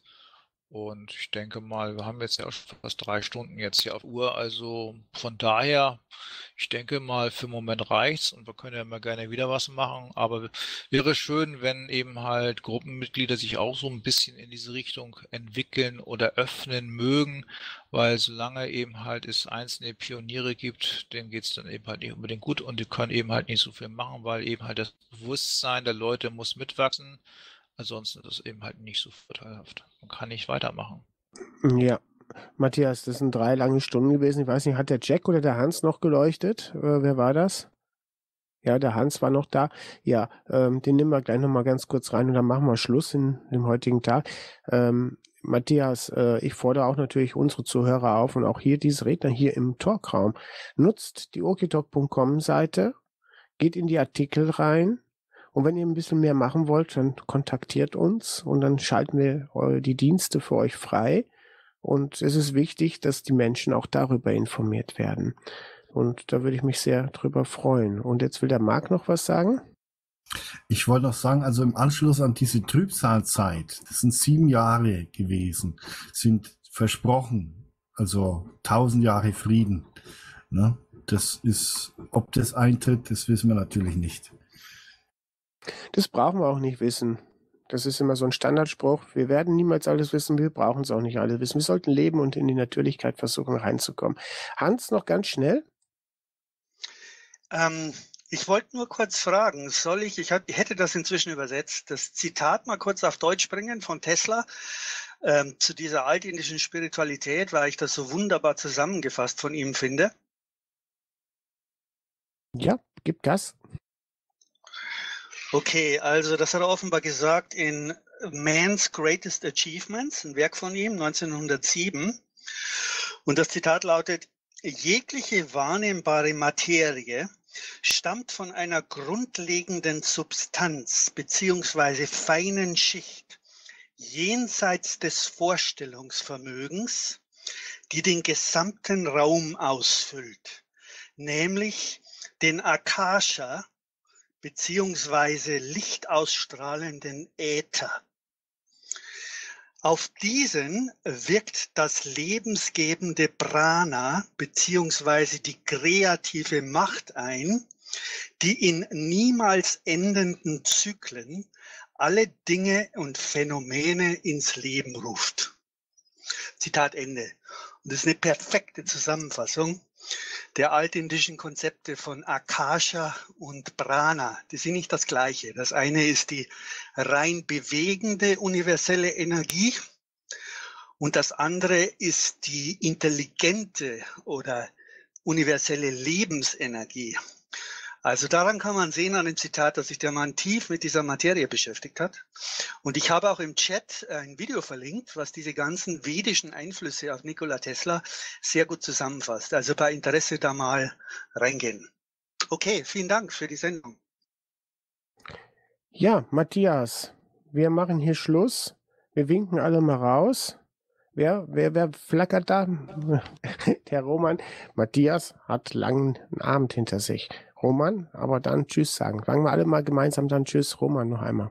Ja, äh, ich weiß nicht, ob ich das versäumt habe oder so, aber gibt es irgendwo Kontaktinformationen, wo man äh, bei Matthias bei dir nachschauen kann? Homepage oder E-Mail-Adresse oder so? Äh, oder bist du mehr privat unterwegs?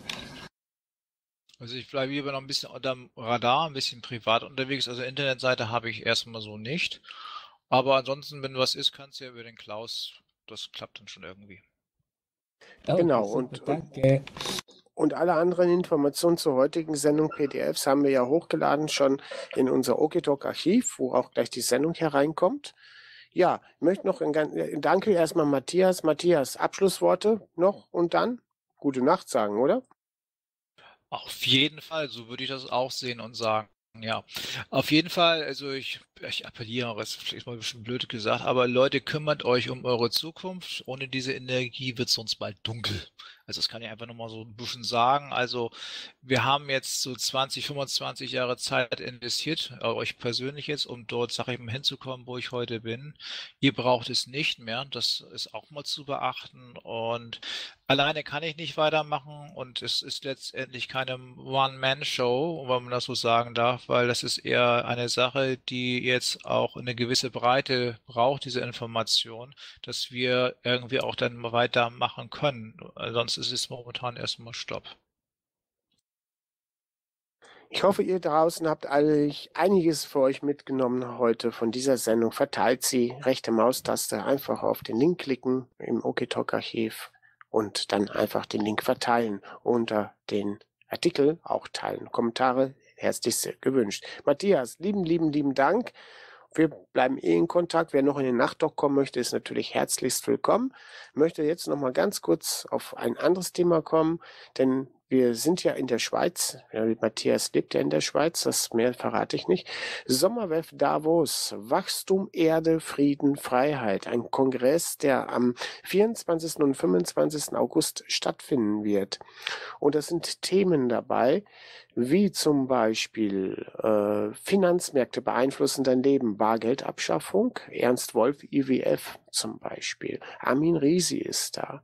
Armin Risi spricht, äh, ist ja ehemaliger Mönch, er spricht zu Mechanismen der Spaltung und das Bewusstsein der Menschheitsfamilie. Martin Schmidt, Forschung, Entwicklung. Er spricht zu Permakultur, Klima, Pflanzenkohle, Humus, Erde. Christian Kreis, warum arbeiten wir so viel. Wege in die Wirtschaft, die die Menschen dienen. Dann keine Steuergelder für Verschmutzung unseres Wasser. Franziska Herren, Open Space gibt es auch. Gene Ziegler, bekannt ist er im beratenden Ausschuss der UN-Menschenrech äh, Menschenrechtsrates. Was ist so schlimm am Kapitalismus? Das neueste Buch, Beispiele Venezuela. BIP-Wachstum braucht auch Bevölkerungswachstum. Al Allergagneux Entwicklungsdialoge. Helmut Scheben über Syrien, Sanktionen, Massenmigration und Massenmedien. Andreas Thiel spricht über Glück und Kapitalismus und vieles mehr. Wir haben einen Werbebanner auf Okitalk und den dürft ihr euch gerne mal anschauen und da ist das ganze Programm hinter versteckt. Vielleicht, es gibt im Übrigen keinen Eintritt dort, ein Austritt wird dort genommen. Also das sollte den einen oder anderen doch reizen, auch dort vielleicht eine Reise in die Schweiz zu machen. Ich sage ganz herzliches Dankeschön an euch alle, alle, die ein Danke haben wollen. Als letzten Song habe ich im YouTube einen Unplug-Song für euch, ein bekannter. Und ich brauche gar nicht sagen, ich bin eh nicht der gute DJ. Und von dem Aspekt aus verabschiede ich mich jetzt mit euch und wünsche euch einen schönen Abend, guten Morgen, guten Mittag. Ihr seid im Archiv. Bis dahin. Tschüss, Papa. Ciao, ciao. Upsala, da habe ich doch noch was vergessen. Der Klaus war doch zu schnell. So, aber jetzt Musik ab. Tschüss.